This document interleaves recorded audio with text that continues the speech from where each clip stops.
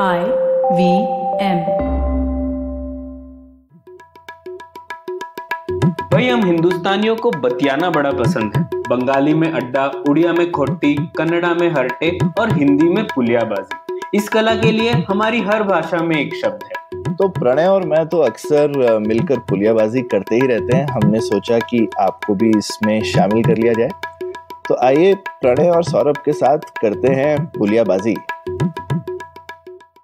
Hello Saurabh कैसे हैं आप? बस बढ़िया प्रणय तुम बताओ। सौरभ पिछली बार जब श्रुति हमारे साथ थी एपिसोड नंबर 101 में तो हम लोगों ने जो 1991 प्रोजेक्ट है उसके बारे में हम लोगों ने बात की थी कैसे अर्थव्यवस्था थी उन्नीस सौ इक्यानवे के पहले और उसके बाद क्या बदलाव आए? तो हम्म। बहुत सी नई नई कहानियाँ हम लोगों ने डिस्कस की थी कैसे स्कूटरें इतनी अभाव में थी और फिर वो चीज़ें बदली स्कूटर टेलीफोन बड़ी बड़ी चीज़ों की तंगी रहती थी और फिर बदल गई अर्थव्यवस्था हमारी। लेकिन उस बातचीत में हम लोगों ने एक तार खुला हुआ छोड़ा हुआ था कि जो राजनीतिक उथल पुथल थी, वो क्या थी उन्नीस सौ इक्यानवे के पहले? और उन्नीस सौ इक्यानवे में ही क्यों ये बदलाव आया? उसके पहले क्यों नहीं आया? और जो बदलाव उन्नीस सौ इक्यानवे में आया वो क्या पूरा बदलाव था? कुछ बदलाव रह गए क्या? वो सब सुधार की बात हम लोगों ने की नहीं थी उस एपिसोड में। बिल्कुल तो ये और इसमें तो और कितने सारे पहलू हैं तो ये पूरा जिसको बोलते हैं तीसवां साल है उन सुधारों का तो अलग अलग तार अलग अलग टाइम पे छेड़ना चाहिए ना हम हाँ बिल्कुल और ये बहुत ज़रूरी है क्योंकि सौरभ हम लोगों ने पिछली बार जो एपिसोड किया हिमांशु के साथ उसमें भी हम लोगों ने ये अ, ये मुख्य मुद्दा यही था कि भारत में नीति बदलाव आता कैसे है? ये बहुत इंपॉर्टेंट सवाल है क्योंकि अक्सर लोगों को लगता है अरे कुछ क्राइसिस आती है कुछ आपदा आती है तभी रिफॉर्म होता है. लेकिन वो इससे इससे इन्वेस्टिगेट करना बहुत ज़रूरी है क्योंकि हम लोग कैसे जान पाएँगे भारत में बदलाव कैसे लाएँ अगर हमें यही नहीं पता होगा कि भारत में बदलाव आता कब है? बिल्कुल बिल्कुल। और काफ़ी हमारा एक हमेशा होता है कि बाकी सब ठीक है बस एक नेता की एक नेता की कमी है या एक व्यक्ति की कमी और हमने जैसा देखा ना वो कोई एक नेता है ना एक पल है ना एक व्यक्ति है। और ये किस तरह से बदलाव होता है ये अपने आप में क्या ज़बरदस्त कहानी बिल्कुल सौरभ तो उसी मुद्दे पे आते हैं और आज का एपिसोड उसी विषय पर है और इस एपिसोड के लिए हमारे साथ फिर से जुड़ रहे हैं। प्रखर प्रखर हमारे साथ पहले भी आए थे। हम लोगों ने स्टेट कैपेसिटी पर बहुत अच्छी पुलियाबाजी की थी। तो प्रखर फ़िलहाल 1991 प्रोजेक्ट से जुड़े हुए हैं। वहाँ पर एक फेलो की हैसियत से काम कर रहे हैं और उन्होंने बहुत अच्छा पेपर भी लिखा है श्रेयस के साथ, जिसमें उन्होंने ये जो राजनीतिक उथल पुथल थी उन्नीस सौ इक्यानवे के पहले, उसका जायजा दिया है। तो प्रखर, स्वागत है आपका एक बार फिर पुलियाबाजी में। Thank you Pranay thank you Saurabh यहाँ वापस आके बड़ा अच्छा लग रहा है। ठीक है। इस बार वीडियो के साथ। वही तो इस, देखो मैंने अपना हुलिया भी बदल लिया प्रखर। तो कर लिया आपने। हाँ तो प्रखर इसी बात पर बात करते हैं हम लोग। क्योंकि हम इतनी ज़्यादा, हमें पता नहीं है, अक्सर हम कहानियाँ सुनते हैं, कैसी राजनीति थी हमारी पहले और क्या हुआ कि ये बदलाव आया, लेकिन इस पुलियाबाजी में थोड़ा डीप डाइव करेंगे और समझने की कोशिश करेंगे। तो एक आम धारणा यही है कि हमारी अर्थव्यवस्था उन्नीस सौ इक्यानवे के पहले एकदम मतलब बंद थी, प्रतिबंधक थी और उसके बाद खुलेपन की एक बाढ़ जैसी आ गई 1991 लेकिन हम लोगों को पता है, सच्चाई हमेशा ऐसे एक्सट्रीम्स में नहीं होती, थोड़ी बीच में होती है। तो इसी मुद्दे को थोड़ा और समझने की कोशिश करते हैं ना? तो सबसे पहले तो शुरुआत से ही बात करते हैं। अब आपने भी जो पेपर लिखा है और उसके पहले भी जो अर्थव्यवस्था पर पेपर्स लिखे गए हैं उसमें कई डिस्कशन होते थे कि भारत की अर्थव्यवस्था 1991 के पहले कैसी थी? और हम लोगों ने ये सब टर्म सुने हैं ना हिंदू रेट ऑफ़ ग्रोथ वगैरह वगैरह। तो पहले ये बताइए कि उन्नीस सौ इक्यानवे के पहले के काल को आर्थिक रूप से हम कैसे समझे? और अरविंद पनगड़िया वगैरह ने इस काल को तीन खंडों में विभाजित किया है तो डिफरेंस क्या है इन तीनों में? हमें तो लगता है सब बंद ही था और 1991 के बाद खुला हो गया। खुल गया। लेकिन कुछ फ़र्क था तो बताइए ना क्या था? um, तो बहुत सारे स्कॉलर्स ने अलग अलग um, खंड बनाए हैं। अरविंद पानगरिया का जो खंड है वो जो खंडे खंडों जो उन्होंने जो विभाजित किए हैं, वो सबसे सटीक मुझे लगते हैं। और उन्होंने जो ग्रोथ रेट जो है जीडीपी का जो एनुअल ग्रोथ रेट होता है, उसको लेके उन्होंने वो विभाजित किया और उन्होंने तीन खंडों में विभाजित किया है उसे। तो पहला जो है वो उन्नीस सौ इक्यानवे से लेके उन्नीस सौ पैंसठ तक जिसमें जो। ग्रोथ है वो चार दशमलव एक प्रतिशत है। दूसरा जो उनका खंड है वो उन्नीस सौ पैंसठ से लेके उन्नीस सौ इक्यासी तक जिसमें तीन दशमलव दो प्रतिशत का ग्रोथ है। और तीसरा जो है वो उनका उन्नीस सौ इक्यासी से लेके उन्नीस सौ सतासी तक। वो पूरा उन्नीस सौ इक्यानवे तक नहीं जाते हैं क्योंकि आखिरी के जो दो साल हैं अट्ठासी और नवासी। अट्ठासी और नवासी आखिरी के जो दो साल हैं अट्ठासी और नवासी उसमें बहुत ज़्यादा ग्रोथ रेट था इंडिया का भारत का और इस वजह से वो उसके दो साल पहले ही जो है रुक जाते हैं। समझने की बात यह है कि जब और उस पीरियड में कितना था? इक्यासी से अट्ठासी तक? इक्यासी से अट्ठासी तक हाँ साढ़े चार परसेंट चार दशमलव आठ परसेंट का ग्रोथ था। और अगर आखिरी दो साल उसमें मिला दें तो वो आई थिंक साढ़े पाँच परसेंट तक या साढ़े छह परसेंट तक चले जाता है क्योंकि आखिरी दो साल बहुत ही ज़्यादा। ज़्यादा था। तो पर देखे तो पहले बेसिकली फोर पॉइंट वन से थ्री पॉइंट टू पे गया फिर वापस इन वे फोर पॉइंट फोर पे आ गया। तो एक थोड़ा सा फोर पॉइंट एट पे हाँ बिल्कुल। और इससे पहले का भी देख लें आज़ादी से पहले कुछ बेसिकली बेसिकली दो परसेंट टाइप का था राइट तो एकदम से हमारा डबल हो गया था करेक्ट करेक्ट एकदम सही। तो जो ग्रोथ रेट जो ब्रिटिश एडमिनिस्ट्रेशन के अंडर था उससे बहुत मतलब बहुत अच्छा नहीं था दो परसेंट ढाई परसेंट के आसपास चल रहा था और उसका ऑलमोस्ट डबल हो गया था फोर्टी सेवन के बाद हम्म। पर एक और इंटरेस्टिंग चीज़ ये है कि जो नेशनल इनकम में जो जो बढ़ोतरी हुई थी वो जितनी उन चौदह सालों में हुई फिफ्टी वन से सिक्सटी फाइव हम्म। जितनी उन चौदह सालों में हुई उतनी पिछले पचास सालों में नहीं हुई थी तो हम्म। वो एक बहुत ही इम्पोर्टेंट फ़ेज़ था डेवलपमेंट का। और वो शुरुआत तो नेहरू से ही हुई उसकी। और उनकी बेसिक फिलॉसफी में दो चीज़ें आती हैं। पहली तो ये आती है कि जो भारी जो उद्योग हैं हैवी इंडस्ट्रीज़ एक तरफ़ उनका निर्माण हो और दूसरी तरफ़ जो स्मॉल और कॉटेज इंडस्ट्रीज़ हैं उन पे थोड़ा फोकस किया जाए। ये इसलिए आती है क्योंकि बहुत बड़ी एक चीज़ थी उस समय कि हमें विदेशी देशों पर निर्भर नहीं होना है। तो हम्म। जो हमें बनाना है खुद बनाना है अपने आप बनाना है उन्होंने तो हमें बहुत लूटा है और अगर हम उनके पास अब जाएँगे तो और लूटेंगे। तो उससे बेहतर है कि अब हम सब खुद करें अपने आप करें। सेल्फ रिलायंस सेल्फ सफिशेंसी ये सब साठ के दशक में ज़्यादा हुआ पर पचास के दशक में थोड़ा बहुत ये भी था। तो जो औद्योगिक नीतियाँ हैं फोर्टी एट की या सन छप्पन की उसमें ये बहुत क्लियरली दिखता है कि फॉरेन इन्वेस्टमेंट विदेशी निवेश जो है वो वो नहीं अलाउ करते। तो ऐसी उनकी सोच थी और इस सोच की वजह से ज़्यादातर जो इंडस्ट्रीज़ बनाई गई, वो भारी उद्योग थे। और वो सरकार के अंदर थे, क्योंकि ये भी सोच थी कि जो प्राइवेट जो है, जो निजी जो निवेश करेंगे, वो अपने लिए करेंगे, समाज के लिए नहीं करेंगे। तो ज़्यादातर सोच ये थी कि उस समय देश को बढ़ाना है, समाज को एक साथ लेके आगे बढ़ना है, समानता लानी है पूरे समाज में, आर्थिक समानता लानी है। उस वजह से पूरे भारत का जो विकास है, वो एक साथ होना चाहिए बिना किसी असंतुलन के। और ये 51 टू 65 का जो पीरियड था, वो यहाँ से यहाँ से जो है उसकी शुरुआत हुई, इस सोच से उसकी शुरुआत हुई।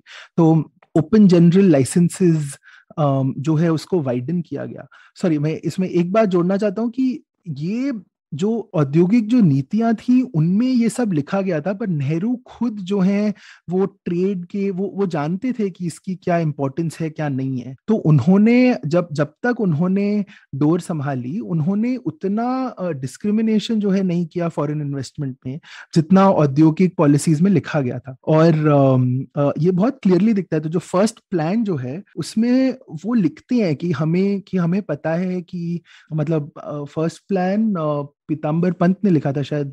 तो उन्होंने उसमें लिखा है कि जो कि हमें पता है कि ट्रेड व्यापार बहुत ही ज़्यादा ज़रूरी है आर्थिक विकास के लिए, पर हम इस पे अभी नहीं करेंगे क्योंकि हमें लगता है कि रिसोर्सेस का एक वेस्ट होगा इसमें, अगर हम अभी इसमें इन्वेस्ट करेंगे तो।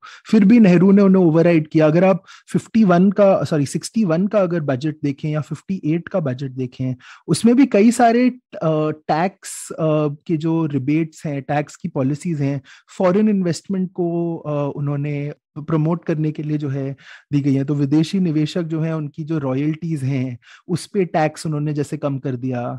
जो कैपिटल जो है फॉरेन इन्वेस्टमेंट के अंदर विदेशी निवेश की जो पूंजी है, जो भारत में आ रही थी, उस पर ऑलमोस्ट 45 परसेंट पैंतालीस परसेंट पैंतालीस प्रतिशत जो है अप्रूवल उसको मिल गए। तो उस टाइम पे पॉलिसीज़ एक चीज़ बोल रही थी, पर जो लीडर्स थे वो कुछ और कर रहे थे। और ये कुछ हद तक तो ये था और कुछ हद तक तो ये सही था। और मैं इसमें एक और बात जोड़ना चाहूँगा कि हमें समझना चाहिए कि उस समय जो आर्थिक सोच थी दुनिया भर में, वो यही थी कि आप अपना खुद करो। अगर आपने ट्रेड खोला या अगर आपने व्यापार खोला तो जितने अगर आपने व्यापार खोला तो वो आप नहीं जो डेवलप्ड कंट्रीज़ जो हैं, उनसे आप अच्छे से नहीं लड़ पाओगे क्योंकि डेवलपिंग कंट्रीज़ एक प्राइमरी कमोडिटीज जो होती है एग्रीकल्चर वगैरह वगैरह वो वो एक्सपोर्ट करती हैं तो वो औद्योगिक कंट्रीज़ के साथ आप आप नहीं आ, उनसे नहीं जीत पाओगे तो ये भी एक सोच थी उस समय जगदीश भगवती ने लिखा है कि उस समय की जो सोच थी वो जितने अर्थशास्त्री थे उनकी वजह से ही ये सोच ऐसी थी तो हम्म। अब सारे अर्थशास्त्री बोलते हैं कि उस समय ये ऐसा था ये वैसा था और क्रिटिसाइज हम्म। सब करते हैं पर पर उस समय यही डोमिनेंट सोच यही थी। जितने बड़े मॉडल्स थे हैरिड डोमार रोजनस्टाइन रोडान का बिग पुश मॉडल अब जितने भी बड़े मॉडल ले लीजिए सब के सब ये एक ही चीज़ बोल रहे थे कि आपको निवेश करना है सरकार को अपने देश में ताकि वो देश प्रगति करे ताकि वो देश विकास करे।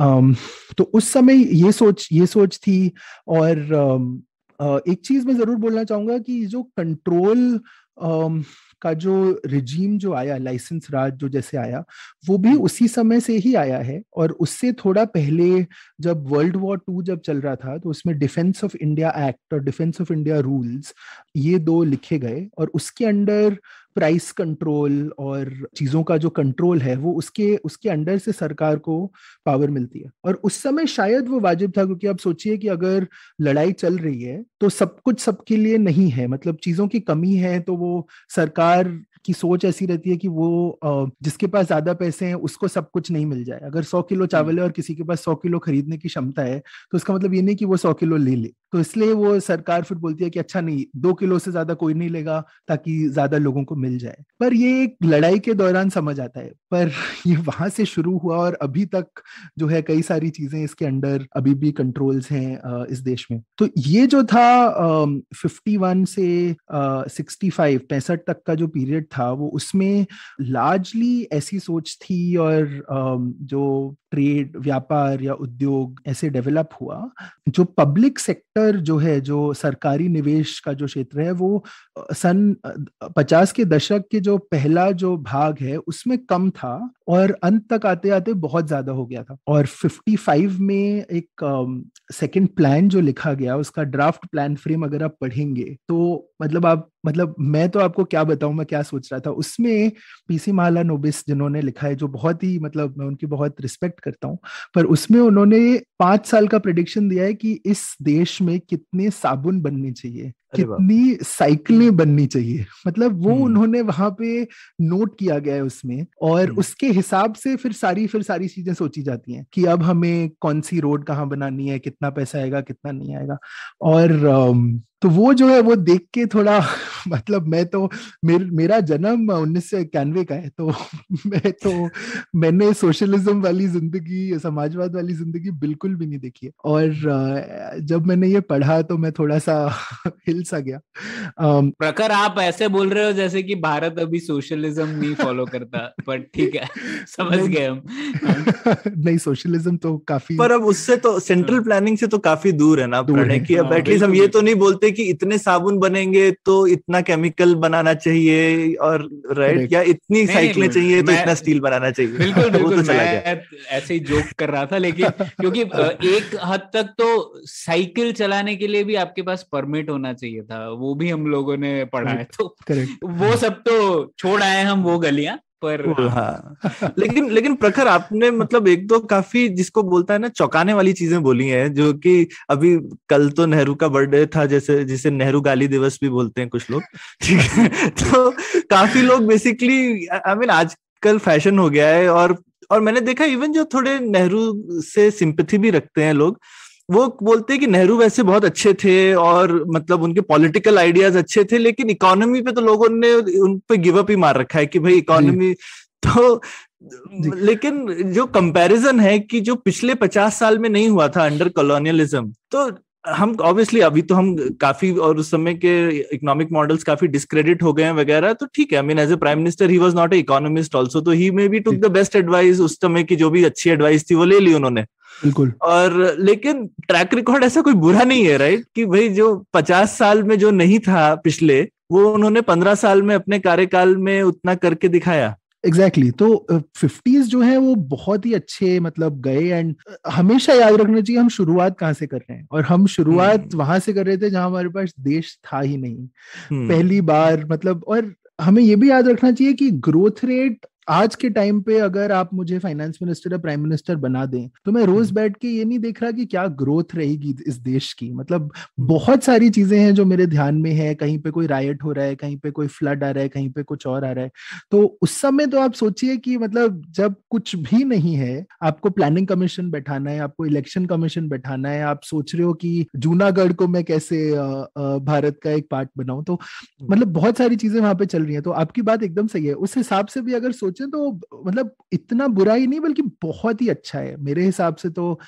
और कुछ लोग हैं और मैं मतलब मैं अभी भी इस असमंजस में हूँ कि कुछ चीज़ें थी उस दौरान जो ये जो कंट्रोल्स जैसे किए गए, जैसे एक नीति के अंडर सेंट्रल गवर्नमेंट को जो सरकार को पावर दी गई कि वो कोई भी इंडस्ट्री को अपने अंडर ले सकती है। कोई भी हम्म। उद्योग को अपने अंडर ले सकती है अंडर सम जो वर्ल्ड वॉर टू का था बेसिकली हाँ, हाँ। वर्ल्ड वॉर टू में क्योंकि आया था ना तो तब से चल रहा होगा। करेक्ट और उसके बाद वो इंडस्ट्रियल डिस्प्यूट्स एक्ट जैसे एक आ गया इंडस्ट्रियल डेवलपमेंट एक्ट आ गया उसमें मतलब कई लिमिटेशन लगा दी कि अगर मैंने एक मशीन डाली है और उस मशीन को मुझे बदलना है तो मेरे को सरकार से परमिशन लेनी पड़ेगी। क्यों? क्योंकि अगर मैं वो मशीन को बदलूँगा तो ऐसा हो सकता है कि मैं लोगों को निकाल दूँ लोगों की जॉब चली जाए। लोगों की जॉब चली जाएगी। तो ये कुछ चीज़ें हैं जहाँ मैं सोचता हूँ कि शायद नहीं अगर होती तो अच्छा होता पर मतलब पता नहीं फिर भी बहुत रिस्पेक्ट है नेहरू जी के लिए मतलब उन्होंने जो बनाया और उनको जो जॉब दिया गया था। तो इ- इस पे मैं थोड़ा ये दो तीन चीज़ें कहना चाहता हूँ। एक तो नेहरू के टाइम का अगर किसी को सोच देखनी है तो वो गाने का वीडियो ही देख लो छोड़ो कल की बात है कल की बात पुरानी उसमें पूरा मतलब एक पॉप कल्चर समरी मिल जाएगा आपको कि क्या आइडिया था इकोनॉमिक्स का तब है ना? हम्म, तो हम्म। अ, वो तो आप यूट्यूब पे देख लेना। अब दूसरी बात ये इसमें बहुत अच्छी बात कही जो प्रखर ने अ, अभी हम लोग ये डिस्कशन करते हैं ना ग्रोथ वर्सेस पॉवर्टी है ना? कि वृद्धि और गरीबी हटाने का काम। तो एक्चुअली तब नाइनटीन फिफ्टी से ही नेहरू ने भी लिखा हुआ है ये कि भारत को में अगर गरीबी हटानी है तो एक ही तरीका है और वो है जो नेशनल इनकम राष्ट्रीय आय उसको कैसे बढ़ाया जाए? जब तक हम लोग वो नहीं करेंगे राइट गरीबी नहीं जाएगी। तो ये जो रीडिस्ट्रीब्यूशन और ये कि पैसे बांटो ये गरीबी हटाओ से जो है वो आइडिया उतना डोमिनेंट नहीं था नहीं उनके टाइम पे। उनके टाइम पे यही था कि कैसे नेशनल इनकम जल्द से जल्द बढ़ाई जाए। अब कहा उनका डिफरेंस ऑफ़ ओपिनियन था आज की इकोनॉमिक सोच से? तब ये सोच थी जैसा प्रखर ने कहा कि नेशनल इनकम को अगर बढ़ाना है तो सरकार ही बीड़ा उठाएगी। कर सकती है।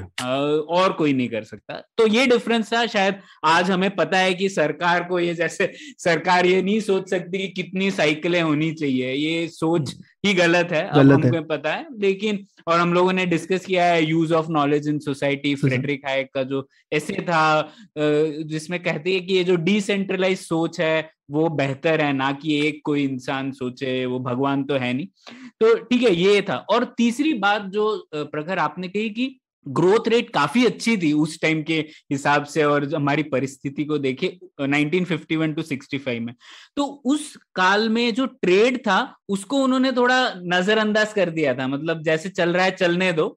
Uh, लेकिन जो कंट्रोल्स है वो एक तो 1958 से शुरू होते हैं एक बजट एक्सचेंज मैनेजमेंट एक्ट। लेकिन 1965 के बाद एक अलग रूप ले लेता है ये सब चीज़ ना। तो 1951-65 में अगर हम लोग रिपोर्ट कार्ड देना चाहे तो शायद काफ़ी पॉजिटिव चीज़ें भी हुई थी उस टाइम, ना कि नेगेटिव। लेकिन अभी हमको लगता है सब सोशलिज्म था, सब सोशलिज्म खराब था और उसके बाद 1991 में ही सब चेंज होने शुरू हुआ बात सही है, कुछ चीज़ें जो मुझे लगता है कि नेहरू की वजह से गड़बड़ हुई 65 में डायरेक्ट हम्म। ब्लेम तो ऑब्वियसली पॉलिसी में आप कैसे किसी को दोगे पर हम्म। जैसे 61 जब ये ग्रोथ हुई और सबको पता चला पहला प्लान और दूसरा प्लान बहुत अच्छा गया और भारत बहुत विकास और प्रगति पे है एक्सेट्रा एक्सेट्रा नेहरू ने पार्लियामेंट में सन साठ में या इकसठ में एक सवाल उठाया और उन्होंने पूछा कि ये ग्रोथ से पर फ़ायदा किसको हो रहा है और उनका इशारा था निजी क्षेत्र की तरफ़, उनका इशारा था मोनोपोलीज की तरफ़। और उसके बाद एक मोनोपोली इंक्वायरी कमीशन बैठा। उस मोनोपोली इंक्वायरी कमीशन ने बोला कि ये सारा फ़ायदा जो है मोनोपोलीज को रहा है, जो कुछ हद तक सही बात भी थी। मेरे पास स्टेटिस्टिक्स अभी सामने नहीं है मेरे, पर कुछ चालीस परसेंट अप्रूवल सारे टाटास के पास थे, बीस परसेंट बिरलास के पास थे, और बाकी के जो बचे थे वो किसी और के पास मतलब ऐसे तो कुछ हद तक वो बात सही थी। सोल्यूशन इसका ये निकाला गया कि अब हमें मोनोपोलीज को जो है कंट्रोल करना है। अब उसको कंट्रोल कैसे करेंगे उस पर कमिटी बैठाएगी। उस कमेटी ने बोला कि उनको हम कंट्रोल करेंगे और लाइसेंसेस से हम्म। और और लाइसेंस डाल के। अब उसके बाद एक और कमेटी बैठाएगी। उस कमेटी ने बोला कि नहीं नहीं जो लाइसेंसेस हैं वो ही प्रॉब्लम है। जो मोनोपोलीज हम्म। जो बन रही है वो लाइसेंसेस की वजह से ही बन रही है क्योंकि ऐसा हो रहा है कि कोई एक ब्यूरोक्रेट एक ऑफिसर वहाँ बैठा है वो आपको लाइसेंस दे रहा है। अगर आपके पास पैसे हैं उनको देने के लिए तो आपको लाइसेंस दे देगा नहीं तो उसको देगा जिसके पास पैसे और वैसे ही और कैपिटलिस्ट इकोनॉमी में जैसे मार्क्स ने जैसे किया था कि इट्स मनी कमोडिटी मनी तो आप कुछ बेच रहे हो ताकि आप पैसा कमाओ उसको इन्वेस्ट करो उससे और पैसा कमाओ। तो कोई अगर पैसा कमा रहा है तो उस समय जब कोई रिडिस्ट्रीब्यूशन नहीं है तो उनकी सोच ये थी कि वो और पैसा कमाता जाएगा, और पैसा कमाता जाएगा तो उसको फिर रोकना है। और वैसे ये सब फिर सॉल्व करने के लिए एक तीसरी कमेटी बैठाएगी, फिर एक चौथी कमेटी। तो सन साठ के दशक की अगर आप इंडस्ट्रियल पॉलिसी के रिकमेंडेशन आप देखें तो सारे ऐसे जाते हैं। पहले एक monopolies inquiry commission Swaminathan committee, Dutt committee, R K Hazari committee, सब ऐसे ही चल रहा है वहाँ पे। पर दो तीन चीज़ें और हैं जो होती हैं जहाँ नहीं, नेहरू को ब्लेम जाते हैं, नहीं किसी और को, कि बहुत सारे जो हैं जिसको हम बोलते हैं एक्सोजनस शॉक्स या एक्सटर्नल शॉक्स जो हुए। तो हम्म। जैसे बासठ की जो वॉर हुई चाइना के साथ मतलब हम्म। कुछ हद तक आप कह सकते हो कि वो भी नेहरू की गलती थी या कृष्णा मेनन की गलती थी या जो कुछ भी पर हम्म। मतलब इकोनॉमी के तौर पे देखें तो वो एक एक्सोजनस शॉक ही है। तो बासठ की वॉर चाइना के साथ पैंसठ की वॉर पाकिस्तान के साथ फिर सड़सठ में और छियासठ में और सड़सठ में दोनों ड्राउट था। मतलब एकदम सूखा पड़ गया था अकाल आ गया था। तो क्रॉप कंप्लीटली फेल हो गया था सब कुछ फेल हो गया था। उसके बाद इकहत्तर में फिर एक और लड़ाई उसके बाद तिहत्तर में ऑयल प्राइस शॉक तो बहुत ज़्यादा जो है उस मतलब आप पैंसठ से अगर आप शुरू करें या बासठ से शुरू करके अगर आप पचहत्तर तक लेके जाओ दस दस बारह सालों में हम्म। बहुत ज़्यादा डैमेज जो है इंडियन इकोनॉमी को हुआ था। और उस वजह से बहुत प्रॉब्लम्स हो गई थी। तो मैं पॉलिटिकल इकोनॉमी इसकी समझाता हूँ कि अगर ड्राउट अगर हुआ है, अगर अकाल अगर पड़ा है तो आपके पास खाने के लिए कुछ नहीं है तो आपके मतलब लोग क्या खाएँगे? तो इसलिए आप जाते हो किसी यूएस के पास या और और यूएस उस समय उनके पास बहुत ज़्यादा क्रॉप हो रहा था बम्पर क्रॉप था उनके पास पिछले दस सालों से। तो उन्होंने एक स्कीम चलाई थी, उसको बोलते हैं P L four eighty public law four eighty उस नीति के अंतर्गत वो सबको मतलब जो भी डेवलपिंग कंट्रीज़ थी, भारत जैसी, उनको कुछ कुछ अनाज भेज भेजते थे। और वो आई थिंक मेरे ख्याल में छप्पन के टाइम से शुरू हो गया था ये। तो भारत भी उस पर काफ़ी डिपेंडेंट जो है हो गया था और वो एक्सपेक्ट कर रहा था कि ये तो हमें हमें मिलेगा ही मिलेगा। सन साठ और चौसठ के बीच में हमने उनसे करीब 25 मिलियन टन जो है ग्रेन लिया। और सन सड़सठ और छियासठ और सड़सठ में सिर्फ़ दो सालों में हमने उनसे 20 मिलियन टन ग्रेन लिया है। जब हम पाँच सालों में 25 लिया था और दो सालों में 20 तो इत, हम्म। इतनी बुरी प्रॉब्लम थी और हम इतना उनपे डिपेंडेंट हो गए थे। अब क्योंकि हम उनपे इतने इन, उनपे इतना डिपेंड कर रहे हैं वो हमारी पॉलिसीज़ को ज़्यादा वो हमारी नीतियों को फिर अपने हिसाब से करना चाह रहे थे। और उसी में आया था एक एक और डिवैल्यूएशन का अवमूल्यन जिसे कहते हैं, अवमूल्यन का एक दौर। और ऐसा हुआ था कि हमारे पास और उस समय जब जब हमने अवमूल्यन किया तो बहुत ज़्यादा प्रेशर था वर्ल्ड बैंक से और अमेरिका से कि आप इसको डिवैल्यू करो। पर आरबीआई ने उन्नीस सौ बासठ में एक स्टडी ऑलरेडी की थी पिंडरकर के अंडर कि क्या हमें अवमूल्यन करना चाहिए। और उस स्टडी ने बोला था, नहीं नहीं करना चाहिए। इंटरनल हमें पता था कि हमें नहीं करना है। और चौसठ में जब नेहरू की डेथ हुई तो पैंसठ में लाल बहादुर शास्त्री आए प्राइम मिनिस्टर बने, प्रधानमंत्री बने।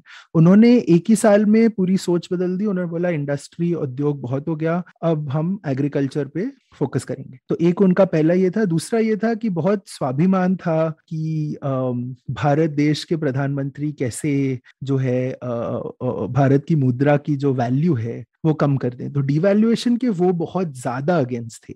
और उनके साथ साथ जो उनके फाइनेंस मिनिस्टर थे टीटी कृष्णमाचारी वो तो बहुत ही ज़्यादा अगेंस्ट थे। तो पैंसठ में एक मीटिंग हुई थी वर्ल्ड बैंक में वर्ल्ड बैंक की मीटिंग हुई थी उसमें आ, और आईजी पटेल अपनी किताब में लिखते हैं कि टीटी कृष्णमाचारी इसलिए भी बहुत ज़्यादा अगेंस्ट थे क्योंकि जिस तरह से अमेरिका और वर्ल्ड बैंक हमें बोल रहा था ये करने के लिए अवमूल्यन वो ही बहुत ऐसे ऑफेंसिव था। तो उस वजह से टीटी कृष्णमाचार्य ने बोला, नहीं, ये तो हम कभी नहीं कर सकते। और ये करते करते करते करते हालत बहुत ही खराब हो गई। दिसंबर 1965 में टीटी कृष्णमाचार्य का रेजिग्नेशन लिया गया।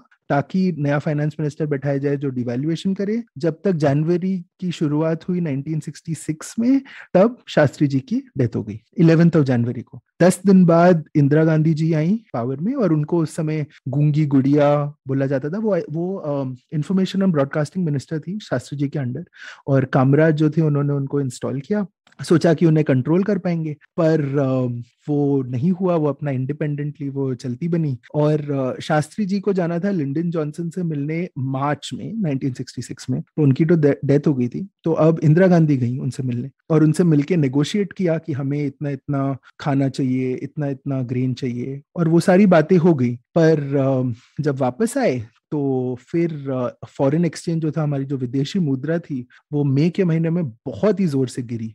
और जून में जो है डिवेल्युएशन करना पड़ा अवमूल्यन करना पड़ा। um, उस समय सिर्फ़ तीन या चार लोग थे सरकार में जो अवमूल्यन करना चाह रहे थे। एक थे पीसी भट्टाचार्य जो आरबीआई के गवर्नर थे। दूसरे थे आईजी पटेल जो चीफ इकोनॉमिक एडवाइजर थे। तीसरे थे एल के झा जो मिनिस्टर फाइनेंस में थे। और चौथे थे एस भूतलिंगम और यही चार लोग थे और पांचवे बाद में बने बीके नेहरू क्योंकि बीके नेहरू उस समय हमारे एम्बेसडर थे यूएस में।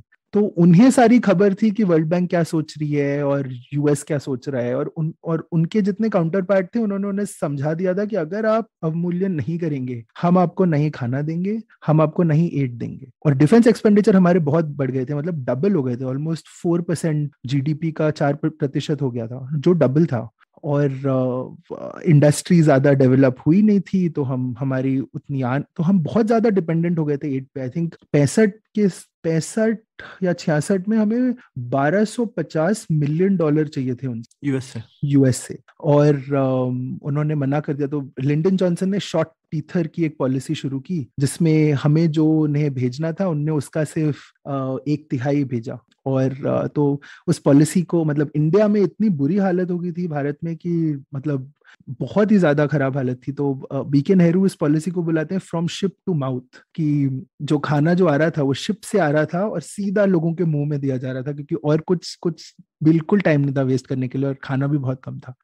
तो इस समय ये सब जब हुआ इसके बाद लेकिन अमेरिका को क्या इंटरेस्ट था प्रखर की हमारी करेंसी कम होने से उन वो क्यों चाह रहे थे कि कम हो? कुछ तो जेन्युइन था कि उन्हें लग रहा था कि इंडिया की करेंसी ओवर वैल्यूड है और हम्म। कुछ आई थिंक उनके हित में भी कुछ बातें थी कि वो कुछ चीज़ें सस्ते में खरीद पाए या हमसे सॉर्ट ऑफ़ एड ज़्यादा ले पाए। तो उसके कई कई सारे पॉलिटिकल कारण थे। प्रॉब्लम उन कारणों में भी नहीं थी। प्रॉब्लम सिर्फ़ इसमें थी कि जिस तरह से उन्होंने हमें बोला मतलब सारी प्रॉब्लम जो जितने अकाउंट्स मैंने पढ़े हैं उसमें यही समझ आता है कि अगर वो थोड़ा अच्छे से बोल देते थोड़ा ना, प्यार मोहब्बत से करवा लेते हाँ, तो हो तो हो जाता। पर उन्होंने कहा कि भाई मैं गर्दन पकड़ के हमसे करवा रहे हो तो लोग बुरा मान गए। करेक्ट। और हर जगह मतलब लंदन में कुछ मीटिंग्स हुई और मतलब जहाँ जहाँ जितने अकाउंट्स बने सब में बहुत ही ज़्यादा मतलब गाली गलौज पे तो नहीं उतरे पर अ, वैसा ही कुछ कुछ नहीं पर ये थोड़ा समझने की ज़रूरत है। एक तो जो मुद्रा का रेट है वो अब हमारे भारत में बहुत ही सेंसिटिव इशू है। व्हाट्सएप पे मैसेजेस आते रहते हैं। एक 1947 में इतने डॉलर का एक रुपया था अभी देखो इतना। तो मनमोहन सिंह ने तो बहुत अच्छा स्पीच भी दिया था 1991 में कि ये ये सिर्फ़ एक नंबर है इससे आपकी समृद्धि वगैरह पे कोई फ़र्क नहीं पड़ता। आप येन का अमाउंट देख लीजिए कि, कितने हज़ार येन बनाते हैं एक डॉलर पर। जापान बहुत समृद्ध है भारत से। तो ठीक है फिर भी लेकिन ये कॉन्सेप्ट जो था एक ये है हमारे लिए भी फ़ायदेमंद था डिवैल्यूएशन एक तरीके से क्योंकि हम लोगों का एक्सचेंज रेट पैक्ड था पाउंड से और वो एक्सचेंज रेट जानबूझ करके ओवर वैल्यूड था क्योंकि ब्रिटिशर्स इंपोर्ट सस्ते कराना चाहते थे अ, है ना? क्योंकि वही उनकी इकोनॉमी थी भारत को तो लूट रहे थे उसी तरीके से। तो अ, एक तरीके से हमें डिवैल्यूएशन चाहिए था उससे हमारी एक्सपोर्ट्स बढ़ते फ़ायदेमंद होते और तो एक तरीके से पॉलिसी लॉजिक था उसमें। पर शायद आप जैसे कह रहे हैं कि अमेरिका ने फोर्स किया तो उसकी वजह से जो रेपरकशन से वो तो और नेगेटिव हो गए क्योंकि ये डिवैल्यूएशन का जो लेसन लिया पॉलिसी लेसन ये हुआ कि हम लोगों ने कुछ अच्छा किया अमेरिका के बोलने पर लेकिन अमेरिका ने दगा दे दिया। तो अमेरिका दगाबाज है और ये 1966 से जो चल रहा है वो आज तक कहानी वही चल रही है। अमेरिका दगाबाज यही कहानी चलती है अभी तक। एकदम तो- सही। नहीं हाँ। मतलब डिवैल्यूएशन जो है वो एक अच्छा मूव है। उसमें उसका पॉलिसी लॉजिक था भी। भगवती ने एक पेपर लिखा था एक इकोनॉमिस्ट है के एन राज उन्होंने भी उसके बारे में लिखा था कि क्यों डिवैल्यूएशन करना चाहिए। प्रॉब्लम यहाँ आई कि सिर्फ़ डिवैल्यूएशन एक सोल्यूशन नहीं होता है। डिवैल्यूएशन के बाद आपको बहुत सारी नीतियाँ लानी पड़ती हैं एक्सपोर्ट्स प्रमोट करने के लिए ट्रेड प्रमोट करने के लिए जो आप तभी ला सकते हो जब इंटरनली आप जब अंदर से जो है पॉलिटिशियंस भारत में इस चीज़ से कन्विंस्ड हो। तो प्रॉब्लम ऐसा रहा कि जब वो हमें बोल रहे थे डिवेल्युएशन करने के लिए, यहाँ पे लोग हाँ हाँ तो मतलब एंड में आके तो बोलना पड़ा प्रेशर में आके करना पड़ा, पर किसी ने कन्विक्शन नहीं था उस समय। और दूसरी बात ये भी है कि हम फेबियन सोशलिज्म की बाद में बात करेंगे, पर उस समय आइडियाज़ बहुत ज़्यादा लेफ़्ट डोमिनेटेड थे। तो और नेहरू ने वैसे ही मोनोपोलीज और प्राइवेट एंटरप्राइजेस जो है निजी जो निवेशक हैं, उनके अगेंस्ट काफ़ी जो है उस दशक में कई सारी बातें हुई। तो इससे ऐसा भी हुआ कि अगर हम ये अवमूल्यन करेंगे तो उनको फ़ायदा होगा। और ये देश के लिए अच्छी बात नहीं है। तो वो हम्म। भी सोच जो गलत सोच है क्योंकि उसी दशक में अगर आप देखो तो साउथ कोरिया ताइवान सिंगापुर जितने जो ईस्ट एशियन टाइगर्स जो हैं वो सिक्सटीज के टाइम पे ही एक्सपोर्ट जिसको बोलते हैं एक्सपोर्ट लेड इंडस्ट्रियलाइजेशन उन्होंने वो करके उसी समय अपनी इकोनॉमीज को इतना बढ़ाया है और उनके पर कैपिटल इनकम्स तो बहुत ही ज़्यादा हो गए। हम्म बिल्कुल। और मैंने ये भी सुना है लोग अक्सर ताइवान के बारे में बोलते हैं ना "तो ताइवान इतना सक्सेसफुल है क्योंकि उन्होंने खुद की इंडस्ट्रीज़ बनाई। लेकिन लोग ट्रेड की डेटा देखते ही नहीं है। क्यों? 1900 1950 से ताइवान ने इंपोर्ट टैरिफ्स कितने कम कर दिए कितना एक्सपोर्ट पे फोकस एक्सपोर्ट आप तब तक नहीं कर सकते जब तक इंपोर्ट टैरिफ्स कम ना करो नहीं नहीं तो कौन बनाएगा आपके यहाँ पे? तो हम्म। वो सब चीज़ें ताइवान ने की साउथ हम्म। कोरिया ने भी की। और खैर वो उनका एक स्पेशल रिश्ता था यूएस की वजह से तो टेक्नोलॉजी ट्रांसफ़र भी हुआ। तो ये सब चीज़ें थी जिसकी वजह से ताइवान और साउथ कोरिया बने आज। लेकिन हम लोग एक थोड़ी एकदम एक संकीर्ण मनोवृत्ति से देखते हैं कि यार ये इसलिए होगा क्योंकि उनकी सरकार ने कुछ एक नई चीज़ें की और खुद से इंडस्ट्रीज़ बनाई। लेकिन वो गलत लेसन ठीक है? तो हम लोग शुरुआत करते हैं। अब आपने बात की नेहरू के टाइम की तो पहले वहीं से ही थोड़ा और एक जानना चाहते हैं हम। ये फेबियन सोशलिज्म की बात हुई। आपने ये नाम भी लिया इस शब्द का। तो ये क्या है? फेबियन सोशलिज्म ये वाक्यांश क्या है? इसका इम्पोर्टेंस क्या था? और ये क्यों इतना पॉपुलर था उस टाइम तो फेबियन सोशलिज्म एक एक सोच है, एक समाजवाद की एक धारणा जैसी है। उसमें उनकी सोच ऐसी है कि आज़ादी आपको तभी मिल सकती है जब तक आपको आर्थिक समानता मिले। और वहाँ से जो है फेबियन सोशलिज्म की सोच शुरू होती है। तो उसमें कई सारे पहलू आते हैं जैसे फेबियन सोशलिस्ट जो होते हैं वो ये सोचते हैं कि जो स्टेट है वो सेंटर में रहेगा और वो स्टेट जितने डिस्प्यूट्स हैं जितना जितनी प्रॉब्लम है इकोनॉमी में अर्थव्यवस्था में सारी स्टेट अपनी पावर से सेटल करेगा। नेशनलाइजेशन होता है इंडस्ट्रीज़ का ये सब कुछ सोश, फेबियन सोशलिज्म की सोच के की सोच के अंडर आता है। और इसकी शुरुआत इंटरेस्टिंगली होती है लंदन स्कूल ऑफ़ इकोनॉमिक्स से। तो वहाँ पे फेबियन सोसाइटी थी जो in fact I think V K Krishna Menon ने एस्टेब्लिश की थी या वो उसके प्रेसिडेंट थे। और फिर uh, नेहरू भी लंदन में उसी समय वो एल में पढ़े तो नहीं पर वहाँ पे उन्होंने बहुत सारे लेक्चर्स अटेंड किए। और जॉर्ज बर्नार्ड शॉ जो फेबियन सोसाइटी के मेंबर थे उनके साथ नेहरू के ताल्लुकात बहुत ज़्यादा अच्छे थे। और लंडन स्कूल ऑफ़ इकोनॉमिक्स में एक प्रोफेसर थे हैरिल्ड लैस्की तो हैरिल लैस्की की जो सोच है, वो सारी फेबियन सोशलिस्ट के इनफैक्ट एक उनके जो बायोग्राफर हैं ग्रैंडविल ईस्टवुड उन्होंने लिखा है कि किसी इंडियन पार्लियामेंट ने, विधायक पार्लियामेंटेरियन ने, विधायक ने उन्हें बताया था कि अभी भी मतलब ऐसे उन्होंने तो ऐसे ऐसे ही बोल दिया था पर इनने काफ़ी सीरियसली ले लिया कि अभी भी हर कैबिनेट मीटिंग में एक कुर्सी खाली रहती है हैरल्ड लैस्की के भूत के लिए। क्योंकि उनका प्रभाव इतना ज़्यादा था हमारी इंडियन हाँ। इंडिया की पॉलिसीज़ पे कि आज तक जो है फेबियन सोशलिज्म प्रणय जो पहले मज़ाक कर रहे थे कि सोशलिज्म अब भी यहाँ पे काफ़ी ज़िंदा है तो वो हाँ, तो लैस्की नहीं है तो उनका भूत तो है एटलीस्ट भूत तो है। और पर यार जॉर्ज बर्नार्ड शॉ तो प्ले राइट थे ना मतलब हम्म। तो वो कहाँ से आ गए इसमें? फेबियन सोशलिज्म इकोनॉमिक्स की बात कर रहे हो आप?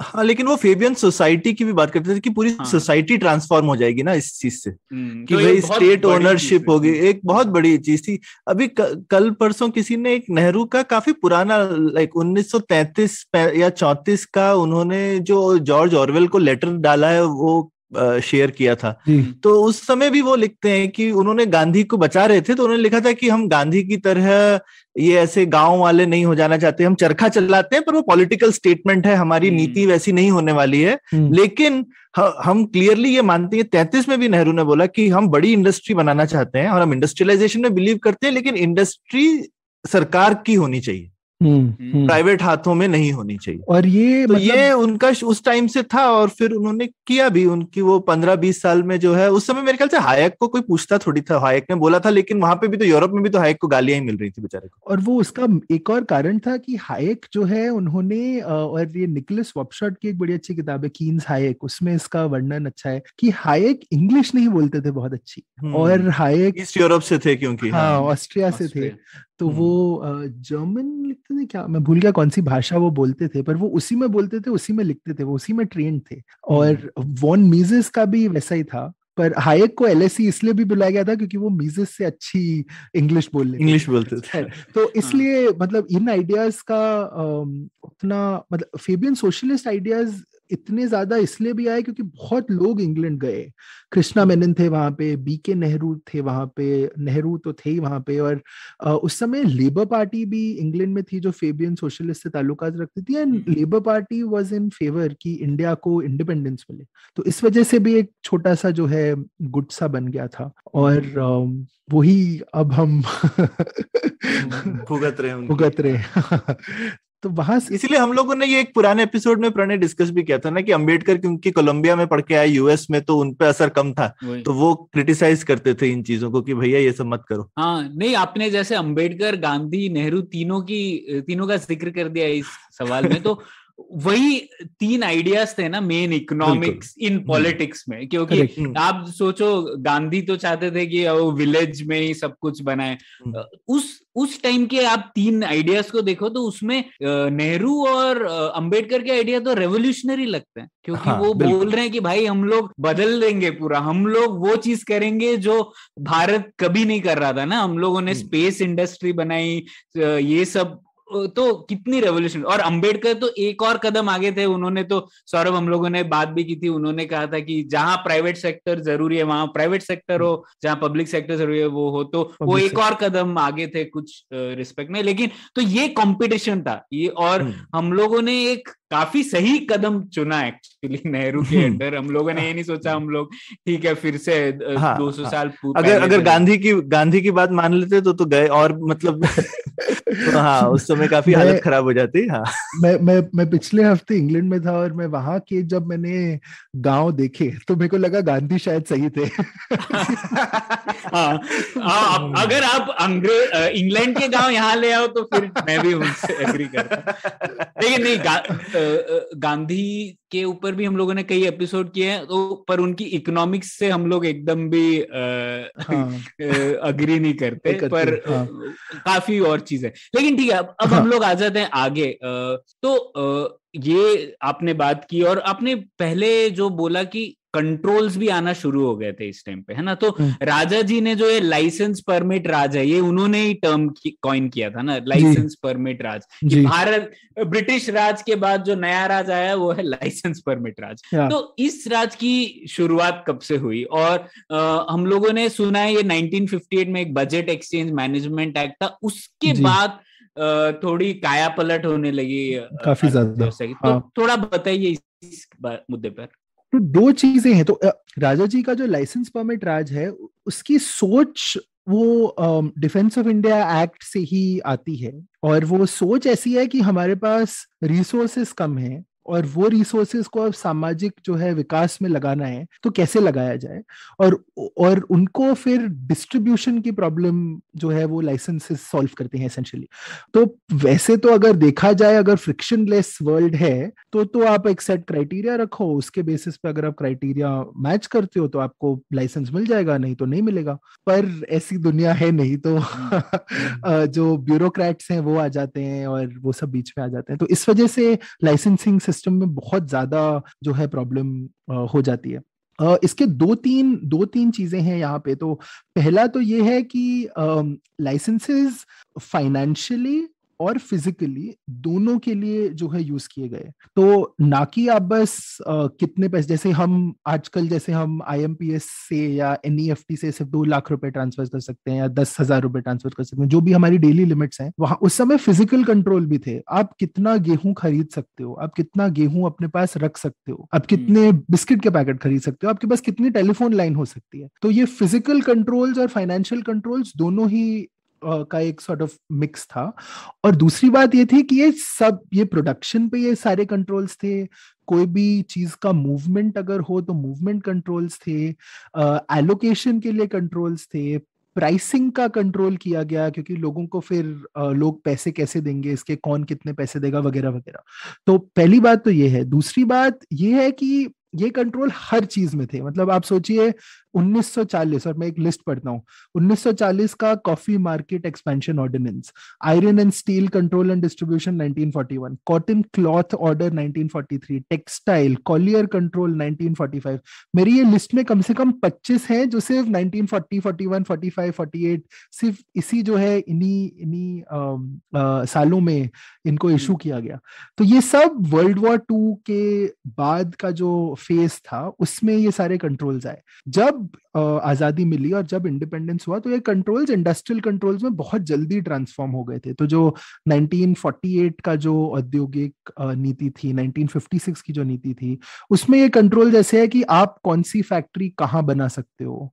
आपको वो फैक्ट्री वहाँ बनाने के लिए ऐसे एक्सवाइजी क्राइटेरिया मीट करना पड़ेगा, वगैरह वगैरह। कुछ टाइम तो कंट्रोल ऐसे भी थे, जैसे पैंसठ या हाँ छियासठ में जब कमी बहुत थी चीज़ों की तो फैक्ट्रीज को बोल कॉटन फैक्ट्रीज को बोल दिया गया कि आपको आ, हर हफ़्ते के एक दिन तो छुट्टी लेनी पड़ेगी क्योंकि हमारे पास चीज़ें नहीं है आपको देने के लिए। तो इतना जो है और ये सब इन कंट्रोल से ही आया मतलब ये जो एक्ट से जो नीतियाँ थी इन्हीं की वजह से सरकार को ये पावर मिली कि वो किसी को बोल सकें कि आप कितने दिन खुल सकते हो और कितने दिन बंद रख सकते हो। तीसरी चीज़ इसके बारे में ये थी कि जो तीसरा फाइव ईयर प्लान था वो जब खत्म हुआ उसके बाद इंदिरा गांधी जो है तीसरा फाइव ईयर प्लान खत्म हुआ और उसके बाद डिवैल्यूएशन हुआ। उसके बाद इंदिरा गांधी बहुत ज़्यादा लेफ़्ट चली गई। क्योंकि ये जब सारी ये पॉलिटिक्स हुई 67 का इलेक्शन हुआ, कांग्रेस की सीट्स बहुत ज़्यादा कम हो गई तो उन्होंने सब कुछ सिंडिकेट जो था उस समय जो दूसरा भाग था कांग्रेस का, वो उन्होंने उस पर सब कुछ डाल दिया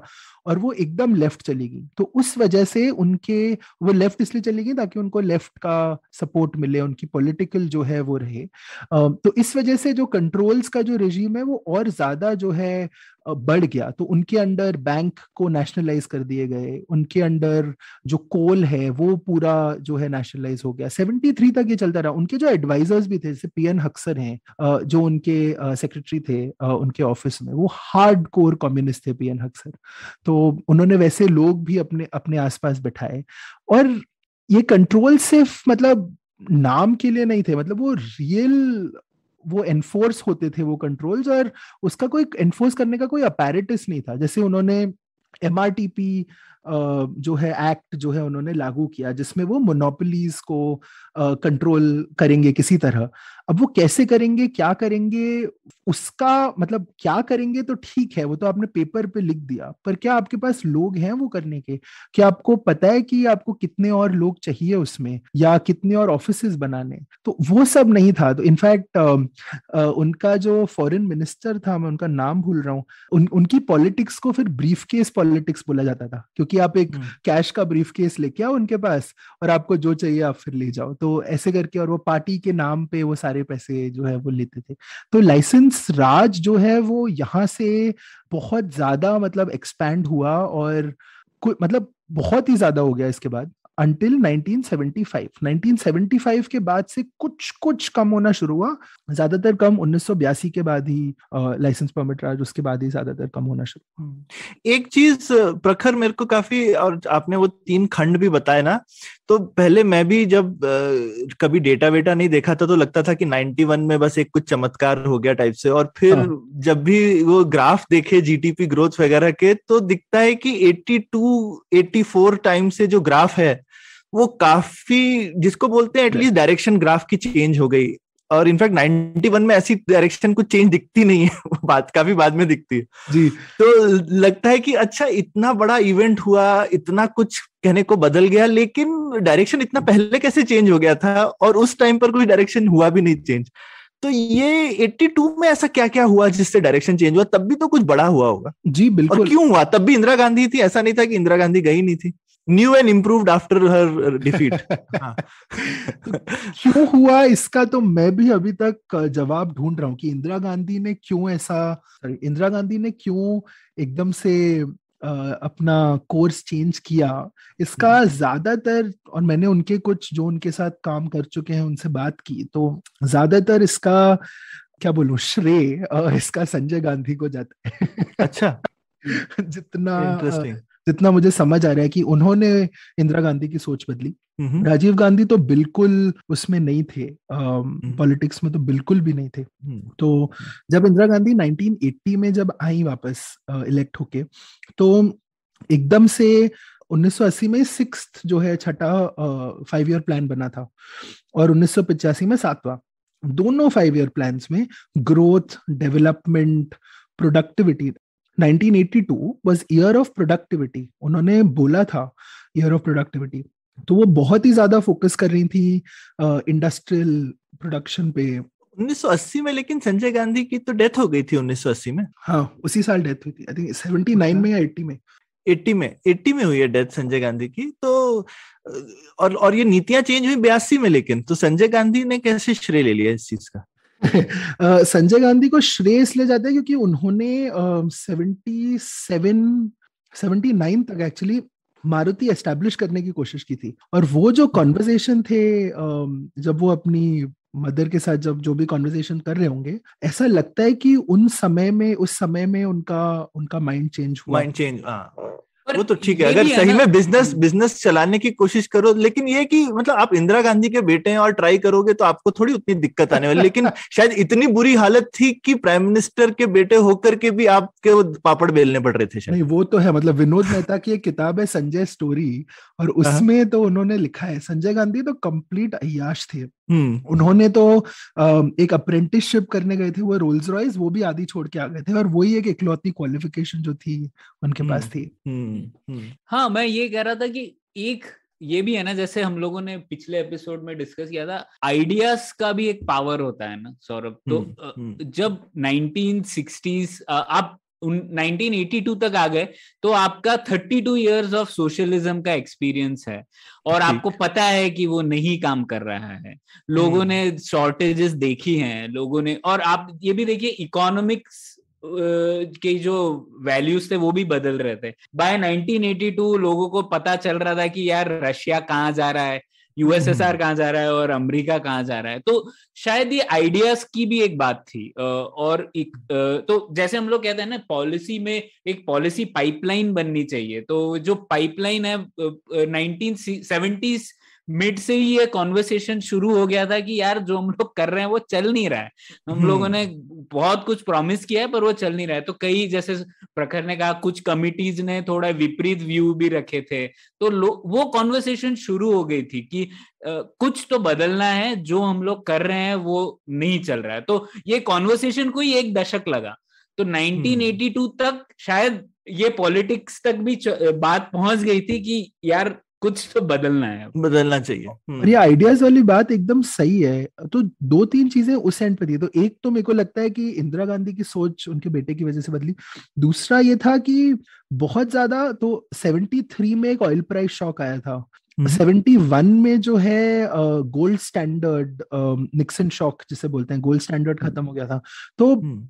बहुत ज़्यादा चेंजेस आए थे मैक्रो इकोनॉमिक एनवायरमेंट में 79 में भी एक और ऑयल प्राइस शॉक आया था तो कुछ तो वो था। तीसरी बात ये थी कि जब सन पचास में या साठ के दशक में भी जब पॉलिसीज़ बनी तब अर्थशास्त्री भी मार्केट ओरिएंटेड उतने नहीं थे। और इंडिया में तो खैर बिल्कुल भी नहीं थे मतलब कुछ थे जैसे बी आर शनॉय थे या मीनू मसानी। इनफैक्ट मीनू मसानी ने ही मिक्स्ड इकोनॉमी की का जो जो नेहरू ने लिया था वो मीनू मसानी ने ही उसका आइडिया दिया था। आइडिया दिया था। पर जब नेहरू ने इन्वेंट किया था तो मीनू मसानी लिखते हैं कि Nehru mixed up mixed economy with mixed up economy पर पर हाँ पर आइडियाज़ भी फ्लो करने में जो है थोड़ा टाइम लगता है। और और um, एरो डेब्रू के जो first and second fundamental theorem of welfare economics है जो एसेंशियली मार्केट्स और uh, की तरफ़ बढ़ते हैं और स्टेट को पीछे रखते हैं उनको भी वो भी I think fifty late fifties में um, वो पेपर लिखा गया था और उसके बाद उस पर डिस्कशन हुआ होगा तो प्लस मेजर रीजन ये भी हुआ रहेगा कि um, uh, सन साठ में जो ईस्ट एशियन इकोनॉमीज हैं कोरिया ताइवान सिंगापुर तो उनकी वजह से सबने देखा कि हाँ एक्सपोर्ट्स इंपॉर्टेंट है। मनमोहन सिंह अपनी थीसिस में सिक्सटी uh, फोर में उनकी थीसिस पब्लिश हुई थी सिक्सटी टू में उन्होंने शायद थीसिस लिखी थी तो हम्म। उसमें वो लिखते हैं कि इंडिया को एक्सपोर्ट करना चाहिए और एक्सपोर्ट अच्छा। ओरिएंटेड होना चाहिए तो वो भी तो आइडियाज़ फ्लो कर रहे थे प्रणय जो बोल रहे हैं कि वो सारे आइडियाज़ ऐसे ही आ रहे थे और 82 को ईयर ऑफ़ प्रोडक्टिविटी बोला गया उसमें इंडस्ट्रियल रिफॉर्म्स हुए बहुत सारे बहुत सारे रिफॉर्म्स तो मेजर जो था, वो था ब्रॉड बैंडिंग या ब्रॉड जिसे बोला जाता है। और जो इंडस्ट्रियल डीरेगुलेशन जैसे हम अरविंद पानगरिया के तीन खंडों की बात कर रहे थे तो जो तीसरा जो खंड है, जो एटी, इक्यासी से अठासी तक जो है तो उस, उसको उन्होंने डीरेगुलेशन में तीन डिविजन में जो है बांटा है। तो पहले तो ब्रॉडबैंडिंग शुरू हुई। है ब्रॉडबैंडिंग का मतलब यह है कि आप जैसे मेरी फैक्ट्री स्पून बना रही है और चम्मच बना रही है और मेरे को अब कांटा बनाना है। तो मेरे को कांटा बनाने के लिए भी परमिशन लेनी पड़ेगी। अब ब्रॉड हम्म। बैंडिंग में कांटा बनाने की परमिशन आपको नहीं ले, नहीं लेनी नहीं, वाह। पर पर प्रणय सोचो इतने छोटे से चीज़ से ही। इतना फ़र्क पड़ गया इकोनॉमी में। हाँ, मतलब ऐसा गला घोट के रखा हुआ था ना कि हल्का सा छोड़ा भी तो सांस आने लगी। हाँ बिल्कुल। बहुत ज़्यादा। और जैसे जैसे बढ़ते गए ये ब्रॉड बैंडिंग के जो सेक्टर हैं यही वो अस्सी के दशक में इन्हीं को वो बढ़ाते गए। बढ़ाते गए। तो हम्म। जैसे अगर आप चार पहिए की गाड़ी बना रहे हो तो अब आप चार पहिए का ट्रक भी बना सकते हो मतलब ऐसे जो है उन्होंने बेसिकली कैटेगरीज को बड़ा करते गए तो लाइसेंसेस कम हो गए एटलीस्ट कैटेगरीज कम हो गई लाइसेंसेस करेक्ट एग्जैक्टली exactly. तो हम्म। एक वो था दूसरा कैपेसिटी जो है वो आ, बहुत बहुत ज़्यादा रेगुलेटेड थी। तो मेरे मेरे पास लाइसेंस है पचास गाड़ियाँ बनाने का मैं सिर्फ़ पचास ही बना सकता हूँ। चाहे चाहे सौ लोग खड़े हो लाइन में खरीदने के लिए गाड़ी। तो उन्हें दस साल खड़ा रहना पड़ेगा जैसा क्योंकि उनको वो डर लगता था। ना कि ज़्यादा गाड़ी बनाने को दे दी तो लोहा खत्म हो जाएगा। कहीं फिर ऐसा हाँ, नहीं हो कि लोहे फिर फिर साइकिल नहीं बनेगी आपने ज़्यादा ले ली। तो वो माइंडसेट राशन वाला था ना कि आप ना ले लो। एक कारण ये था दूसरा कारण ये था कि अब वो लोहा ज़्यादा जो लगेगा उसको लाना पड़ेगा बाहर से। हाँ, तो उसके तो लिए विदेशी मुद्रा लगेगी। हाँ। नहीं तो और वो फॉरेन एक्सचेंज ही कम था हमारे पास। तो वो हम्म। कैसे तो कौन लाएगा कितना लाएगा कहाँ से हम फॉरेन एक्सचेंज लेके आएँगे? तो वो भी एक कारण था। पर ये एक चीज़ तो वही इसी इसी मुद्दे पे तो ये शुरुआत होती है बजट एक्सचेंज मैनेजमेंट एक्ट 1958 से। तब उस टाइम पे ये एक कंसर्न हो गया गवर्नमेंट का कि हमारी विदेशी मुद्रा कम है उसको कंट्रोल करना है। तो हम्म। वो एकदम कम नहीं होनी चाहिए। तो उस एक्सचेंज मैनेजमेंट एक्ट के चलते चलते और कंट्रोल आ गए क्योंकि जैसा हम्म। प्रखर ने हम्म। बताया इंपोर्ट करना है तो पैसे तुमको हमारी विदेशी मुद्रा चली जाएगी। तो इसीलिए आप इंपोर्ट भी नहीं कर सकते। तो हम लोग एक क्लोज इकोनॉमी और भी बन गए हम्म, और वो बजट मैनेजमेंट एक्ट आया भी था फिफ्टी सिक्स में एक बैलेंस ऑफ़ पेमेंट क्राइसिस हुआ था। हम्म, तो उसके हील्स पे जो है वो बजट मैनेजमेंट एक्ट आया था और उसमें बेसिकली यही था कि अगर आप एक्सपोर्ट नहीं कर रहे हो तो आप इम्पोर्ट भी उतना नहीं कर सकते। मतलब उनका बेसिक ये था। उनने दो तीन कंडीशन लगाई थी जैसे एक अगर आपको कोई भी चीज़ बनानी है या कोई भी चीज़ बाहर से लानी है तो उसका डोमेस्टिक अवेलेबिलिटी नहीं होनी चाहिए। मतलब ये सब बाद में हुआ उस एक्ट के अंडर नहीं पर हम्म। वहीं से शुरू होता है कि अगर अगर मेरे पास चम्मच भारत में बन रही है तो एक भारतीय को वही चम्मच से खाना पड़ेगा चाहे बाहर की चम्मच कितनी अच्छी क्यों ना हो वो आप लाके यहाँ पे नहीं बेच सकते। और दूसरी चीज़ एसेंशियलिटी की थी कि वो कितना ज़रूरी है वो चीज़ कितनी ज़रूरी है वो कि, चीज़। कि हाथ से क्यों नहीं खा सकते? चम्मच की क्या ज़रूरत करेक्ट और अब प्रॉब्लम उसमें ये भी है कि अब ये अब कौन डिसाइड करेगा चम्मच ज़रूरी है कि नहीं है? हाँ, तो वहाँ पे सारी सारा सुप्रीम कोर्ट सुप्रीम कोर्ट। तो सारी प्रॉब्लम वहीं से शुरू होती है। और तो- अब अभी बहुत मज़ा आ रहा है आपको। एकदम कितनी सिचुएशन कितनी बुरी हुई होगी आप अरे ये ये मतलब ऐसे हंस हंस के ट्रेजेडी पे हंसोगे नहीं तो फिर तो रोना पड़ेगा। हाँ, हम्म, रोते रोते हंसना पड़ेगा हाँ। हाँ। वो भी है। ठीक है ठीक है हम लोग वापस आते हैं नाइनटीन एटी टू पे तो प्रखर हाँ। जैसा आपने आप कह रहे थे कि ये जो कुछ ब्रॉडबैंडिंग लाइसेंसेस थे उन्हीं की वजह से काफ़ी पॉजिटिव ग्रोथ आने लग गई है ना? करेक्ट तो ब्रॉडबैंडिंग। लाइसेंसिंग एक था। दूसरा था कैपेसिटी एक्सपेंशन की वही जो मैंने बात की कि अगर हम्म। अगर मैं सौ गाड़ियाँ बना रहा हूँ और 120 अगर मैं बेच सकता हूँ तो जो 20 जो मेरे को बनानी थी वो पहले सरकार से परमिशन लेनी थी। अब मैं अपने आप एक्सपैंड कर सकता हूँ। उसमें भी कुछ उन्होंने लिमिट लगाई थी five percent per year for five years कुछ कुछ ऐसे करके। और वो सब रिलैक्स होता गया। फिर जैसे उन्होंने बोला कि अगर आपने पिछले साल में अगर आपने पच्चीस परसेंट से कैपेसिटी बढ़ा दी है तो आप अगले साल उसको तीस परसेंट से बढ़ा सकते हो। तो हम्म। एट्टीज का जो डेकेड था उस पूरे अस्सी के दशक में उन्होंने ऐसे ही जो है इन इन रूल्स को रिलैक्स किया। कुछ में तो ऑटोमेटिक एक्सपेंशन कर दिया था कि अगर आप हंड्रेड परसेंट मीट करते हो तो आप अपने आप ही बढ़ा दो आपको हमसे परमिशन लेने की ज़रूरत ही नहीं है बिल्कुल। तो ये दो तीन चीज़ें थी। तीसरी चीज़ ये थी कि जो इम्पोर्ट्स थे उसकी भी लिमिट जो है इंक्रीज हो गई थी। तो हमारा ये भी हमें समझना पड़ेगा कि जब तक हम एट्टीज में आए थे तो एक चीज़ तो यही हुई थी कि हमारी विदेशी मुद्रा आ, काफ़ी हद तक ठीक ठाक हो गई थी। और आ, दूसरी बात ये थी कि आईएमएफ ने हमें एक लोन दे दिया था। 1980-81 में। 5 बिलियन एसडी 5 बिलियन एसडीआर का दिया था जिसमें हमने सिर्फ़ 3.9 बिलियन एसडीआर यूज़ किया और फिर वो लोन टर्मिनेट कर दिया क्योंकि डेवलपमेंट में ज़रूरत नहीं थी। पर काफ़ी असिस्टेंस अच्छी खासी मिल गई थी उस डेकेड में um, ये चीज़ें करने की। uh, और उसी उसी समय तो 1900 छिहत्तर में एक अलेक्जेंडर कमिटी जो है आ, बैठी थी। उसने पहली बार ट्रेड को लिबरलाइज व्यापार जो है उसको आ, खोलने का आ, प्रस्ताव दिया। और पहले एक लिस्ट होती थी जिसको बोलते थे ओपन जनरल लाइसेंसेस ओजीएल अब वो ओजीएल लिस्ट उन्होंने बोला वापस लेके आओ। आपने बंद क्यों कर दी? जो पचास पचपन में बंद कर दी थी। तो उसमें जो जो है जो जो आइटम उसमें लिखे हुए हैं वो वो आइटम आप अपने आप ही इंपोर्ट कर सकते हो। आपको किसी से परमिशन लेने की ज़रूरत नहीं है। नहीं तो उस समय तक नहीं तो क्या होता था हर छह महीने में सरकार एक लाल किताब एक देती थी रेड बुक जिसमें लिखा जाता था कौन सा आप कर सकते हो कौन सा आप नहीं कर सकते कितना कर हम्म। सकते हो किस दाम पे आप बेच सकते हो वगैरह वगैरह। तो वो सब वो रेड बुक में था तो वो सब हटा दिया था ट्रेड में।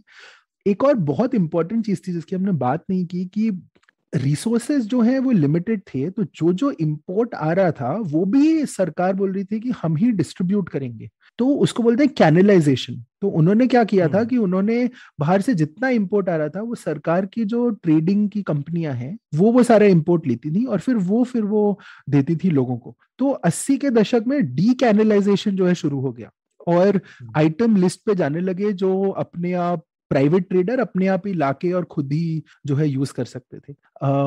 और चौथी और आखिरी चीज़ ट्रेड पे ये हुई कि बहुत ज़्यादा एक्सपोर्ट को प्रमोट किया गया।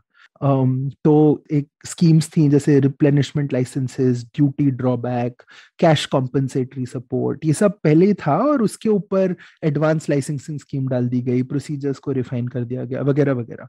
तो और इस वजह से आप देखें तो काफ़ी ज़्यादा एक्सपोर्ट ओरिएंटेड मार्केट हो गया था। और एक आखिरी चीज़ फाइनली जो थी वो एमआरटीपी के अंडर जो जो रूल बने थे सन सत्तर में सत्तर के दशक में वो सारे रिलैक्स जो है करने लगे। तो वो प्राइवेट जो कंपनियाँ हैं, बाहर की कंपनियाँ हैं, उनको धीरे धीरे और ज़्यादा भारत में निवेश करने के लिए अलाउ करने लगे और उनको परमिशन मिलने लगी। तो इस वजह से वो इंडस्ट्रीज़ भी बढ़ी, क्योंकि उनके पास अगर कोई बाहर की कंपनी है जिसकी टेक्नोलॉजी इंडिया की कंपनी से बेटर है तो उसमें अगर उन दोनों के बीच में कॉन्ट्रैक्ट होता है तो वो भारतीय कंज्यूमर को फ़ायदा होगा। तो वो ज़्यादा प्रोडक्ट भी बेटर बनेगा। और क्योंकि अगर आप अच्छी टेक्नोलॉजी ले आओ तो आपका जो प्रोडक्ट है वो अच्छा बनेगा। तो अगर आपका प्रोडक्ट अच्छा बनेगा तो वो बाहर जब आप एक्सपोर्ट करो तो वो और अच्छा बिकेगा। तो वो एक सर्कल जो है, एक बन जाता है उसका। और वो अस्सी का जो दशक था उसमें ये वाले काफ़ी सारे रूल्स और काफ़ी सारे नीतियाँ जो हैं वो इस इस दशक में आई। राजीव गांधी भी जो आए थे पचासी में जब वो आए थे अपनी इंदिरा गांधी की डेथ हुई 84 में और उसके बाद राजीव गांधी प्राइम मिनिस्टर बने तो वो भी एक बड़े मॉडर्न आउटलुक के थे और उन्होंने कई सारी ऐसी नीतियाँ वो भी लेके आए। उनकी पॉलिटिक्स जो है उनका स्ट्रॉन्ग पॉइंट नहीं था तो तो इसलिए दो तीन साल में उनके जितने दोस्त थे उनके जितने सलाहकार थे वो कई सारे उनको छोड़ छोड़ के चले गए। वीपी सिंह जो थे फेमसली उन्होंने अपनी खुद की एक पार्टी बना ली और फिर माइनॉरिटी गवर्नमेंट होती गई जो मैं अपने मैंने अपने मोनोलॉग में इसके बारे में बात की है। तो तो ऐसा था तो 80 के दशक में बहुत ये रिलैक्सेशन बहुत होता गया लाइसेंसिंग में फार्मा सेक्टर खोल दिया जैसे और इसका इम्पैक्ट भी हमने देखा पेप्सी ने आके एक फैक्ट्री लगा ली मोगा में लगाई थी शायद पंजाब में और उससे पहले हमने देखा कि एम के अंडर कोक और आईबीएम दो बड़ी बड़ी कंपनियाँ इंडिया से बाहर चली गई थी क्योंकि उन्होंने बोला कि हम ये रूल्स नॉर्म से हम नहीं, नहीं 78 79 टाइम में। बिल्कुल बिल्कुल। 84 में टेक्सास इंस्ट्रूमेंट आई बैंगलोर में एक्सेस इंस्ट्रूमेंट करेक्ट हाँ 85 में शुरू हुआ हाँ। हाँ। पर एक और मतलब ये स्पेक्यूलेशन है पर मैं आप दोनों से डिस्कस करना चाहता था। 1980s तक शायद एक आत्मविश्वास भी आया होगा भारत में क्योंकि आप 1960s की कॉन्वर्सेशन देखो तब तक तो लोग ऐसी कहानी लिख रहे थे कि भारत गया मतलब भारत हम्म। तो पॉल एलरिच वगैरह हम्म, लोगों ने पॉपुलेशन बॉम्ब जैसे का कि भारत को तो लोग कम करने चाहिए नहीं तो भारत तो भूखे नंगे मर जाएँगे लोग ऐसी।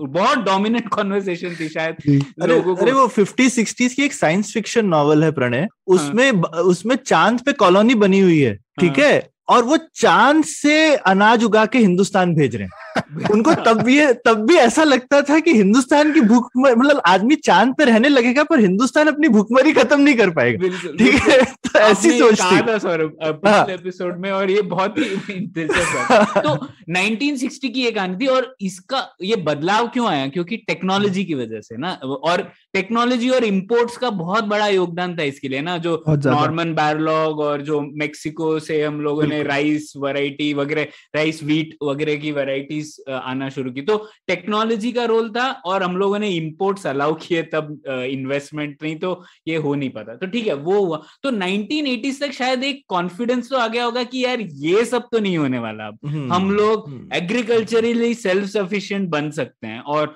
ग्रीन रेवोल्यूशन तो शुरू हो चुका था तब तक। हम्म। तो तो शायद हम लोग हायर लेवल प्रॉब्लम सॉल्व करने की बात करने लगे थे ना? तब तो ये भी एक शायद बदलाव हुआ होगा आपको क्या लगता है? करेक्ट मुझे तो एग्जैक्टली exactly यही लगता है कि धीरे धीरे जैसे एवोल्यूशन हुआ भारत की आर्थिक व्यवस्था का तो ज़्यादा कॉन्फिडेंस आने लगा। और दूसरी बात मुझे ये भी लगती है कि जैसे लोग आए अस्सी के दशक में जितने सिविल सर्वेंट्स थे, जैसे Bureau of Industrial Cost and Prices में, सारे लिबरल सिविल सर्वेंट्स आए, लोवराज कुमार, विजय केलकर योगेंद्र अलग तो उन, उनका जो उनके नेतृत्व में जो भी नीतियाँ बनी और जिस डायरेक्शन में वो गया, वो सब ट्रेड लिबरलाइजेशन की तरफ़ जो है बड़ा। मनमोहन सिंह जो थे उस समय तक वो chief economic adviser economic affairs secretary RBI governor member of planning commission वो ये सब रह चुके थे और उनका ओपन ओपन माइंड था काफ़ी।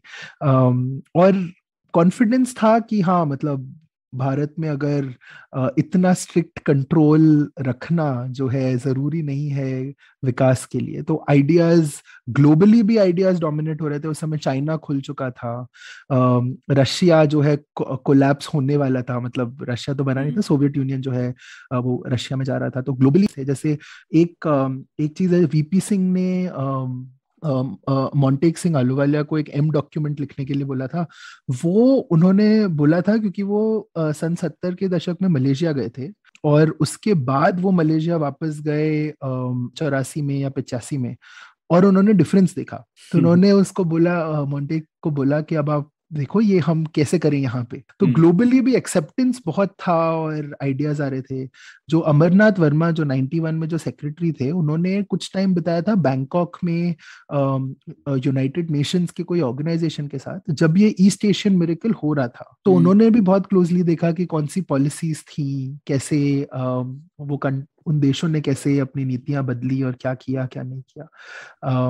इंटरेस्टिंगली um, चाइना का भी आई थिंक राइज ऐसा ही है। रोनल्ड कोस अपनी चाइना की किताब में लिखते हैं कि डेंग जाओपिंग एक बार सिंगापुर गए थे और उन्होंने सिंगापुर में देखा कि क्या हुआ क्या नहीं हुआ। फिर आके उन्होंने अपने लोगों से सलाह ली कि हम ऐसा कैसे कर सकते हैं। तो वो जो फ्लो है वो आई थिंक बहुत क्योंकि उससे पहले पचास के दशक में साठ के दशक में सोवियत प्लानिंग सोवियट्स का बहुत ज़्यादा बोलबाला था और वो आ, मुझे लगता है कि एक बहुत मेजर चेंज था अस्सी के दशक में। तो ये तो बात हुई अच्छी अच्छी बातें कही आपने 1980s की लेकिन आपने चिट्ठा तो नहीं बोला जैसे फ़िज़िकल एक्सपेंशनिज्म हो गया था सरकार बहुत खर्च करने लगी थी और इसीलिए तो क्राइसिस भी हुई थी राइट तो अ, तो एक तो उसके बारे में बताइए और ये बताइए कि जब ये क्राइसिस हुई तो आपने जैसे कहा उन्नीस 1980 से ही लिबरलाइजेशन की तरफ़ हम बढ़ने लगे।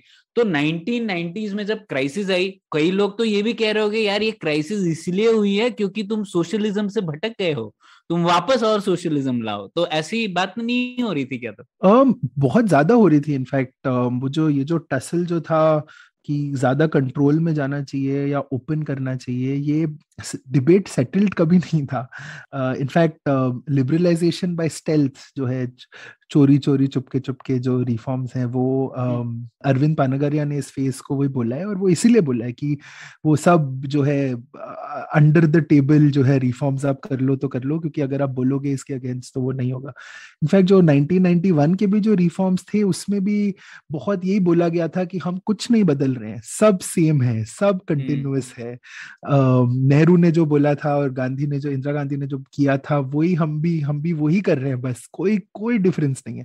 और वो सब इसीलिए था क्योंकि सोशलिज्म में तब भी और खैर अब भी प्रीवलेंट तो है सोशलिज्म पर तब तो कुछ ज़्यादा ही था।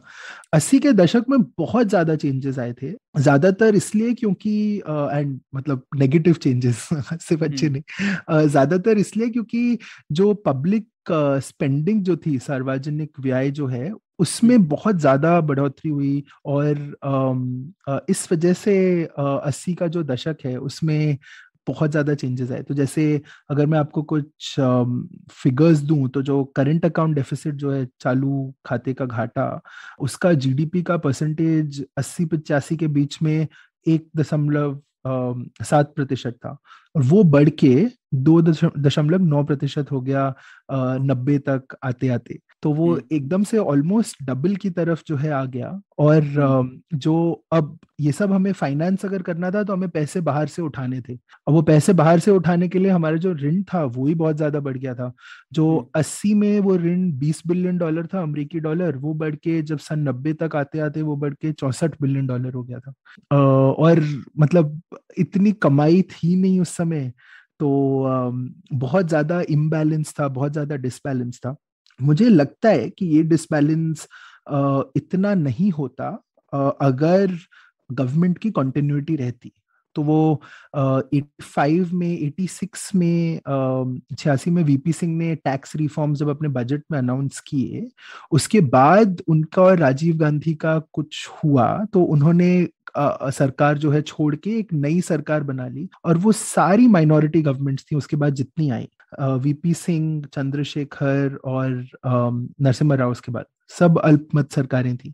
तो उनके प्रायोरिटीज ही कुछ और थे। किसी ने इन चीज़ों पे ध्यान ही नहीं दिया कि ये जो है फ़िज़िकल कंटेन करना है डेफिसिट कंटेन करना है या इकोनॉमिक्स को इकोनॉमिक इंप्रेशन को बेटर करना है वगैरह वगैरह।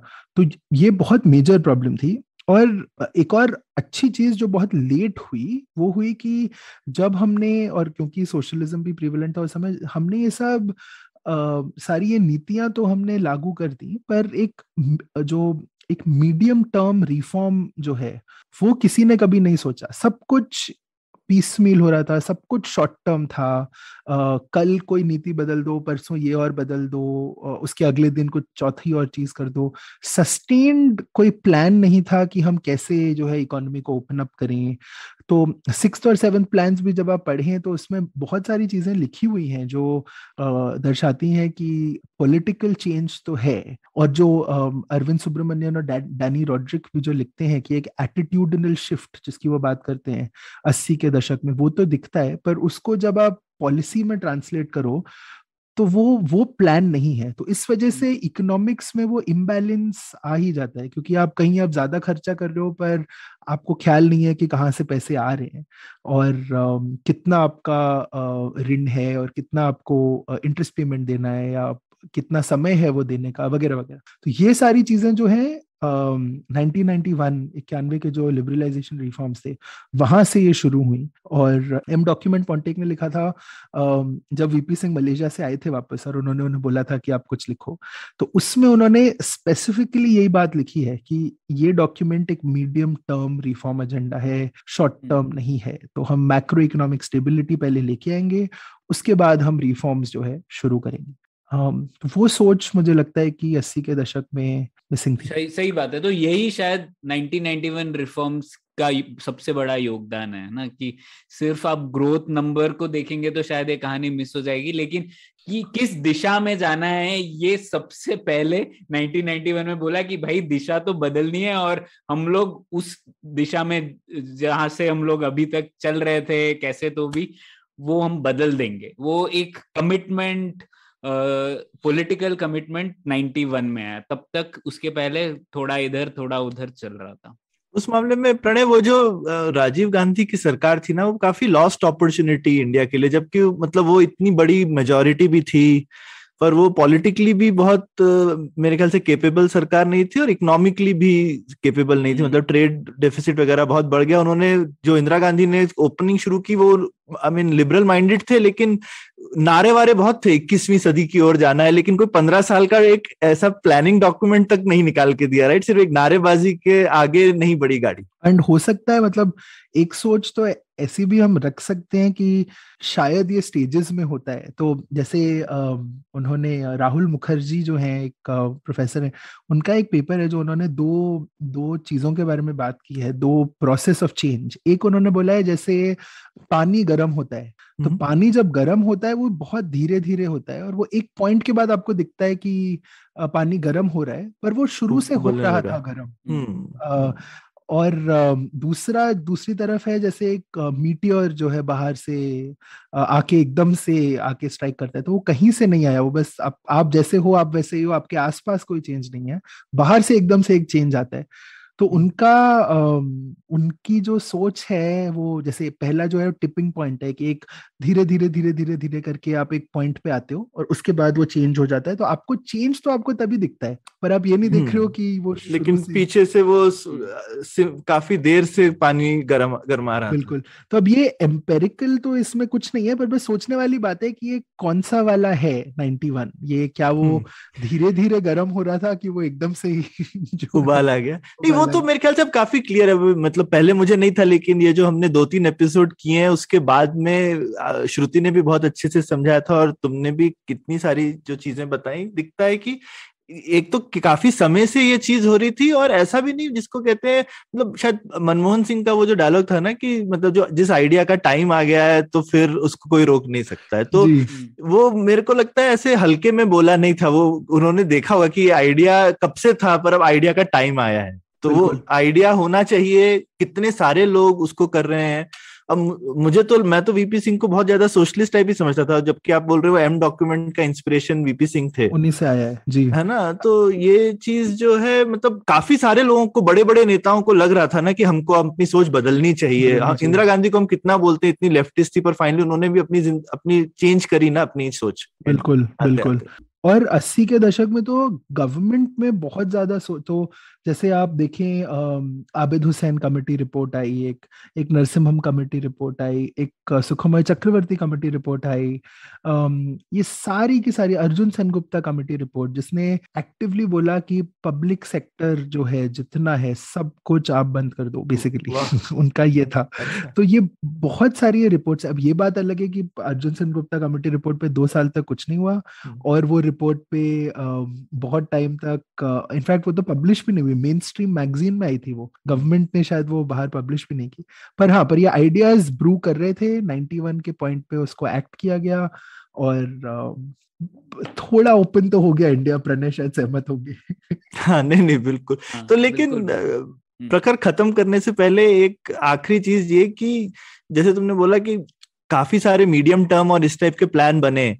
लेकिन हुए ही शॉर्ट टर्म छोटी छोटी चीज़ों में फुटकर फुटकर जिसको बोलते हैं हमने रिफॉर्म किया। तो क्या रह गया? और और अभी तक क्या रह गया है? um, तो एक तो मेरे को लगता है कि ये मेरा पर्सनल व्यू है कि इकोनॉमी या इकोनॉमिक डेवलपमेंट एक मूविंग टारगेट है। तो हम हम्म। अगर कुछ अचीव कर लेते हैं तो हम फिर और ज़्यादा सोचते हैं और हम्म। हमारा वो फिर नया बेंचमार्क हो जाता है और फिर हम सोचते हैं कि अरे हमने कुछ अचीव किया ही नहीं। तो हम्म। एक तो मुझे लगता है वैसा है। दूसरा तो उस हिसाब से अगर देखें तो बहुत कुछ अचीव करना है। हम्म, पर अगर हम बेंचमार्क कांस्टेंट रखें कि कहाँ से शुरुआत हुई थी और साठ साल सत्तर साल में आज हम हमारी इकोनॉमी कहाँ आई है um, मुझे लगता है कि दो तीन चीज़ें हैं जो बहुत ज़्यादा चेंज करनी चाहिए। पहली तो एक जो कैपिटल अकाउंट कन्वर्टेबिलिटी जिसे बोलते हैं कि आप विदेश में आप क्या चीज़ें खरीद सकते हैं? आप कितनी चीज़ें ला सकते हैं? आप क्या आप वहाँ पे प्रॉपर्टी खरीद सकते हैं कि नहीं खरीद सकते?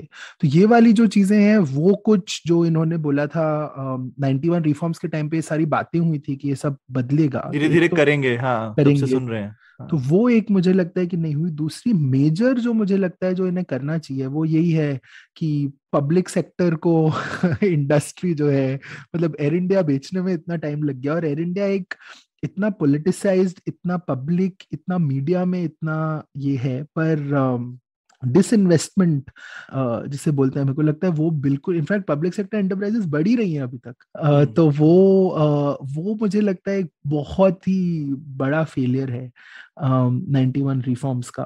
In fact I think Pranay ने एक बार बताया था मेरे को मतलब अभी फाइनली एयर इंडिया बिक भी गई लेकिन पाँच साल में कुछ ऐसे प्रणय सौ से ज़्यादा नई शुरू हो गई है हम्म बहुत तो तीन सौ से ज़्यादा हो गया और- तीन सौ से ज़्यादा अरे बाप। सबसे ज़्यादा एयरलाइंस नहीं नहीं नहीं public sector company public sector अच्छा। एंटरप्राइजेस तीन सौ ज़्यादा और अगर आप स्टेट गवर्नमेंट्स की ऐड कर दे तो हज़ार से ज़्यादा। बहुत ज़्यादा। तो एक हज़ार एक सौ तकरीबन सरकारी कंपनियाँ हैं भारत में। ये देवेश कपूर का एक पेपर है उसमें उन्होंने ज़िक्र किया है। खैर लेकिन और प्रखर लैंड लेबर कैपिटल ये तीन चीज़ जो हम लोग कहते हैं वो भी तो रिफॉर्म नहीं हुआ है अभी तक। वो तो इनफैक्ट बिल्कुल भी नहीं हुआ है। तो एक अनिरुद्ध बमन है उस उ, उनका मैं कुछ पढ़ रहा था तो उन्होंने भी यही लिखा था कि सोच जो है टॉप पे एकदम टॉप पे शायद सोच बदल गई पर वो ट्रिकल डाउन जो है वो नहीं हुई। तो लेबर को आप अब अभी तक इतने सारी जितने एक्ट्स हैं जो फिफ्टीज के एक्ट्स हैं वो अधिकतर एक्ट्स अभी भी चलते आ रहे हैं। लैंड की अगर बात करें खैर उसमें बहुत ज़्यादा और भी ऑपरेशनल प्रॉब्लम्स हैं पर एटलीस्ट पॉलिसीज़ तो डेफिनेटली इवॉल्व नहीं हुई है। तीनों चीज़ों में नहीं हुआ। कैपिटल तो मैंने बताई कैपिटल कन्वर्टेबिलिटी नहीं है। पर लैंड और लेबर दोनों ही it's it's is a long way to go बिल्कुल। वो वो दुखड़ा रोने के लिए एक और एपिसोड करना पड़ेगा, कम से कम। तो वो और फिर कभी करेंगे। लेकिन प्रखर बहुत बहुत शुक्रिया हमारे साथ जुड़ने का इस पुलियाबाजी में। और इस एपिसोड का अंत हम थोड़े अलग तरीके से करेंगे। अभी तक तो हम लोगों ने 1987 तक की बात की, लेकिन उसके बाद क्या हुआ, वो एक थोड़ा थ्रिलर मूवी जैसा है। तो हम लोगों ने सोचा कि प्रखर को ही बोलेंगे, वो कहानी पूरी बयां करे, विस्तृत में। तो प्रखर वो करेंगे, आप सुनिए और आप बताइए हमें ये एपिसोड आपको कैसा लगा। बहुत बहुत शुक्रिया प्रखर और इसी बात पर ये पुलियाबाजी खत्म करते हैं और आप सुनिए किस तरीके से कहानी आगे बढ़ती है 1991 तक। और खत्म होने से पहले अब पुलियाबाजी का अपना चैनल है यूट्यूब पे तो आप लोग सब्सक्राइब कीजिए, बेल आइकन दबाइए ताकि आपको हमेशा इतला मिल जाए कि हमारा नया एपिसोड उस पर आ रहा है। तो ज़रूर खुद भी देखिए और दूसरों को भी बताइए कि अब पुलियाबाजी का खुद का चैनल है यूट्यूब पर। धन्यवाद। Thank you Pranay thank you Saurabh 1947 में भारत ने कई अन्य विकासशील देशों की तरह आर्थिक विकास की अपनी खोज में समाजवादी योजना और संरक्षणवाद को अपनाया। अर्थव्यवस्था के कमांडिंग हाइट्स पर सरकार के दशकों के नियंत्रण, व्यापार के लिए उच्च बाधाएँ, विदेशी निवेश पर सख्त नियंत्रण और कई हस्ताक्षेपों की परिमाण स्वरूप धीमी वृद्धि हुई। 1980 के दशक के अंत तक सरकारी खर्च ने देश की साख को कम कर दिया और भारत की आर्थिक स्थिति अस्थिर हो गई। सुधारों की तत्कालिकता को अब नकारा नहीं जा सकता था। उन्नीस सौ उनासी के अंत तक भारतीय विदेशी भंडार केवल दो महीने के आयात को कवर कर सकता था। खाड़ी युद्ध के दौरान लागू किए गए प्रतिबंधों ने तेल आयात बिल को लगभग दो गुना कर दिया और पहले से ही विकट स्थिति को बढ़ा दिया। चूँकि मुद्रास्फीति और घाटा दोनों दोहरे अंकों में चढ़ गए क्रेडिट रेटिंग एजेंसी मूडीज ने अगस्त 1990 में संभावित गिरावट के लिए भारत को क्रेडिट वॉच पर रखा, जिससे क्रेडिट जुटाना और भी कठिन हो गया। उन्नीस में प्रधानमंत्री वीपी सिंह के नेतृत्व वाली अल्पमत सरकार ने स्थिति को सुलझाने की कोशिश की, लेकिन सिंह ने अपनी राजनीतिक पूंजी सरकारी नौकरियों में जाति आधारित सकारात्मक कार्रवाई के विस्तार पर खर्च कर दी। सांप्रदायिक दंगों या लड़खड़ाती अर्थव्यवस्था से निपटने में असमर्थ, उनकी सरकार ने 344 दिनों में विश्वास खो दिया। सिंह के उत्तराधिकारी के रूप में चंद्रशेखर ने नवंबर 1990 में अल्पमत सरकार का नेतृत्व किया। चंद्रशेखर की सरकार को कांग्रेस का भारी समर्थन प्राप्त था। एक महीने के भीतर बाज़ार उन्मुख वित्त मंत्री यशवंत सिन्हा ने राजकोषीय घाटे में दो प्रतिशत की कटौती करने की योजना की घोषणा की। चल रही आर्थिक कूटनीति के परिणाम स्वरूप जनवरी उन्नीस सौ इक्यानवे में आईएमएफ ने 1.8 बिलियन डॉलर का ऋण भारत को दिया। फिर भी यह केवल 40 दिनों के आयात को खरीदने के लिए ही पर्याप्त था, क्योंकि भारतीय रिज़र्व बैंक ने रुपए का निश्चित विनिमय दर को बनाए रखने की कोशिश की सिन्हा को अपने फरवरी के बजट में आईएमएफ से फंडिंग सुरक्षित करने के लिए आर्थिक सुधारों की घोषणा करनी।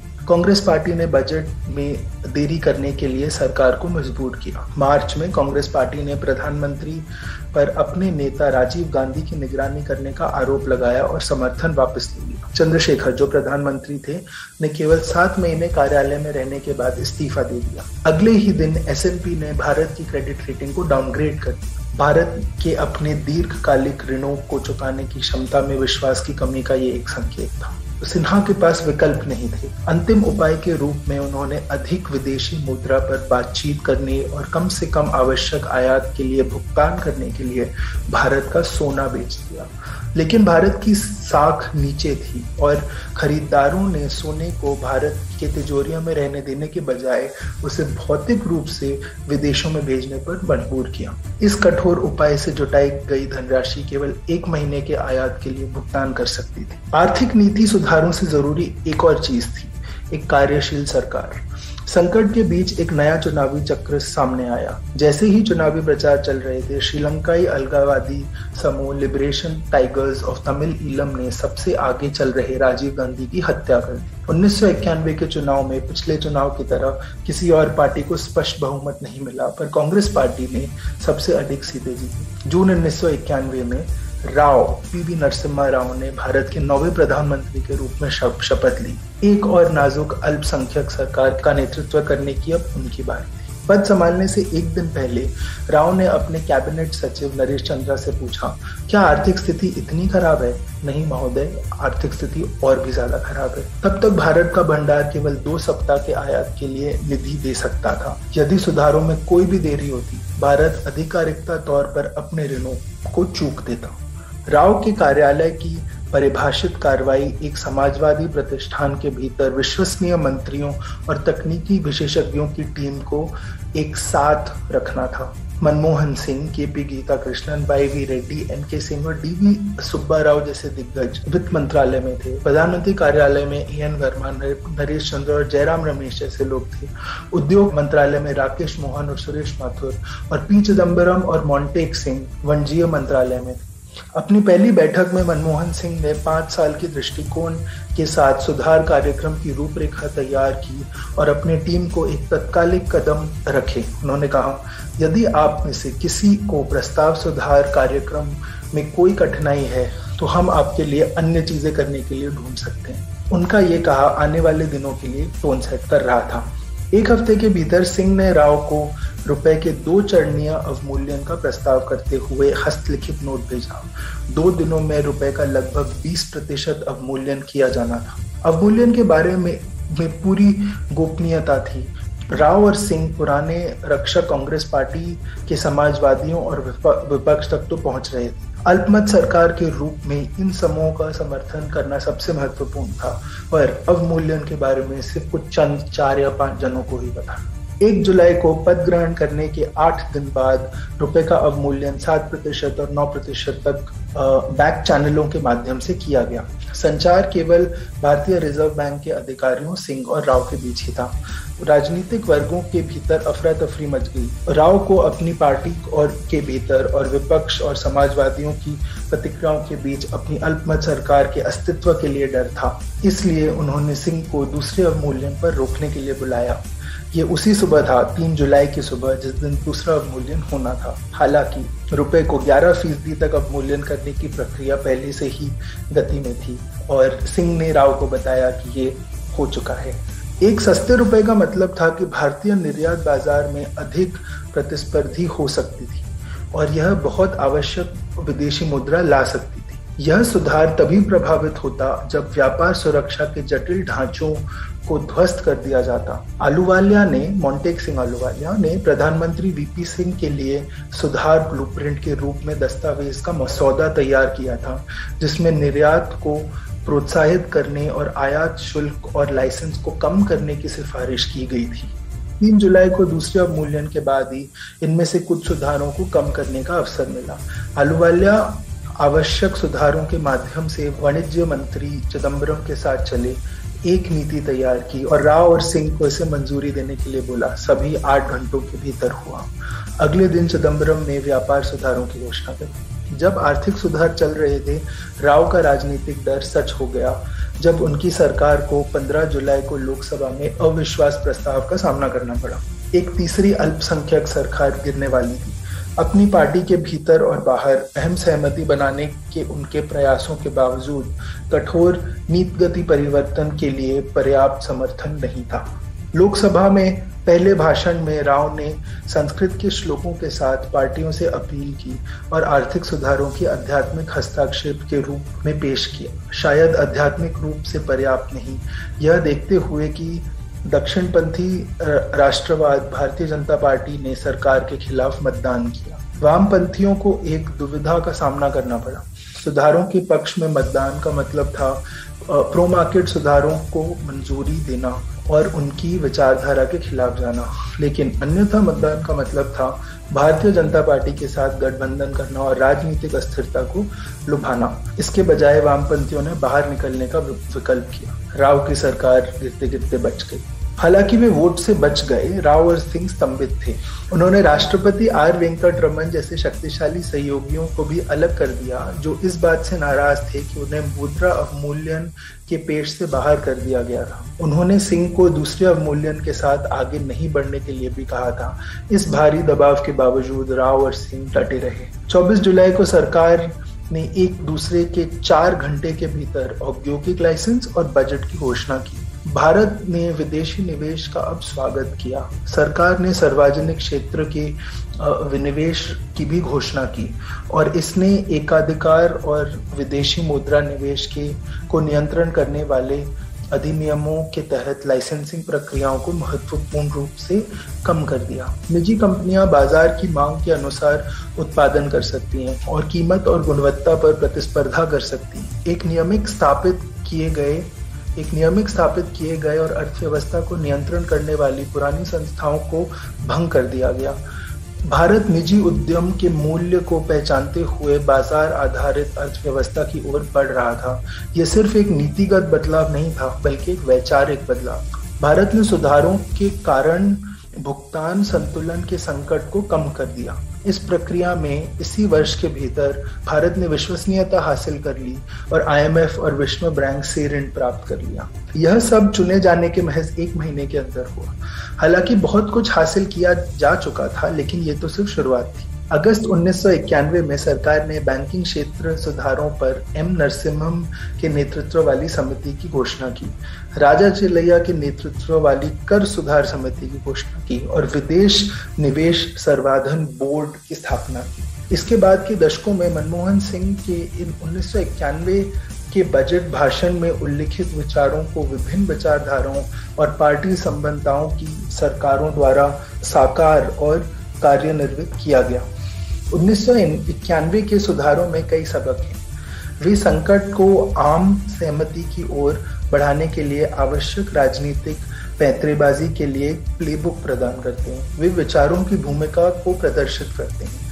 आर्थिक विचारों को किसी भी सरकार या नीतिगत बुनियाद ढांचे के भीतर विकसित और प्रतिपोष करने की आवश्यकता होती है। और अंत में वे सिखाते हैं कि बाजारों और निजी उद्यमों को अपनाने से ही भारत की किस्मत बदली गई। धन्यवाद।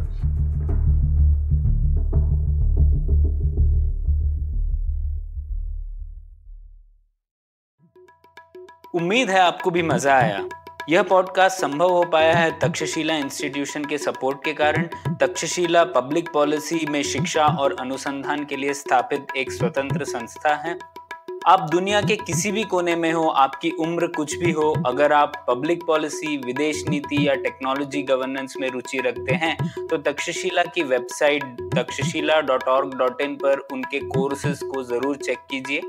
और अगर आप पुलियाबाजी में शामिल होना चाहते हैं तो हमसे कनेक्ट कीजिए Puliyabaazi at Gmail dot com पर या फिर एट पुलियाबाजी ट्विटर पर। शुक्रिया। Hey, it's been another great week on the IVM Podcast Network. On Agla Station Adulthood, Ritasha and Ayushi are in conversation with journalist Pallavi Iyer. They talk about her having lived in so many different cities, adulting through it all, and what motherhood means to her and how young folk can lead better lives and support the nation's progress. On Smarter with Sid, Siddharth asks if energy management is just a better way of time management. Tune in to find out if this is practical and possible. On Khel Niti, Rajiv Mishra, Ayaz Memon, and Sabah Karim talk about Team India's elimination from the T20 World Cup, Pakistan's new team, and New Zealand stepping into the semi finals. On Smile India, Shifa discusses a Kolkata based NGO that's trying to help single screen cinema survive. And on Hans Vani, hear the story Mere Liye Ek Minute and find out why a depressed man mourns his own death by observing silence for a whole minute. Do follow us on social media. We're IVM Podcast on Twitter, Facebook, Instagram, and LinkedIn. And do follow us on YouTube. We have a number of different channels. You can find them on ivmpodcast.com slash YouTube, where you'll be able to take a look at all of the channels we have. And finally, we'd like to thank our sponsors this week Cred, Bank of Baroda, Quarter, CoinSwitch, Kuber, Slay Coffee, Intel, and Oxfam India. Thank you so much. You make this possible. Namaste, this is Cyrus Brocha. I am part of the government cancel culture program to remove rubbish off all the different streams available. So what we have is all the collected rubbish we put together on our show. It's called Cyrus Says. It's on IVM podcast. You have to watch it and listen to it. It's on our app. It's on our website. It's on the YouTube channel. It's on Facebook. There are many different ways. Don't bother me and ask me how. Uh, you have to find out. We talk to different personalities. Many of them are known. Some are just people we meet downstairs and invite them up for chai. But the point is, it's fun and it's very therapeutic. So please join in and listen to Cyrus Says.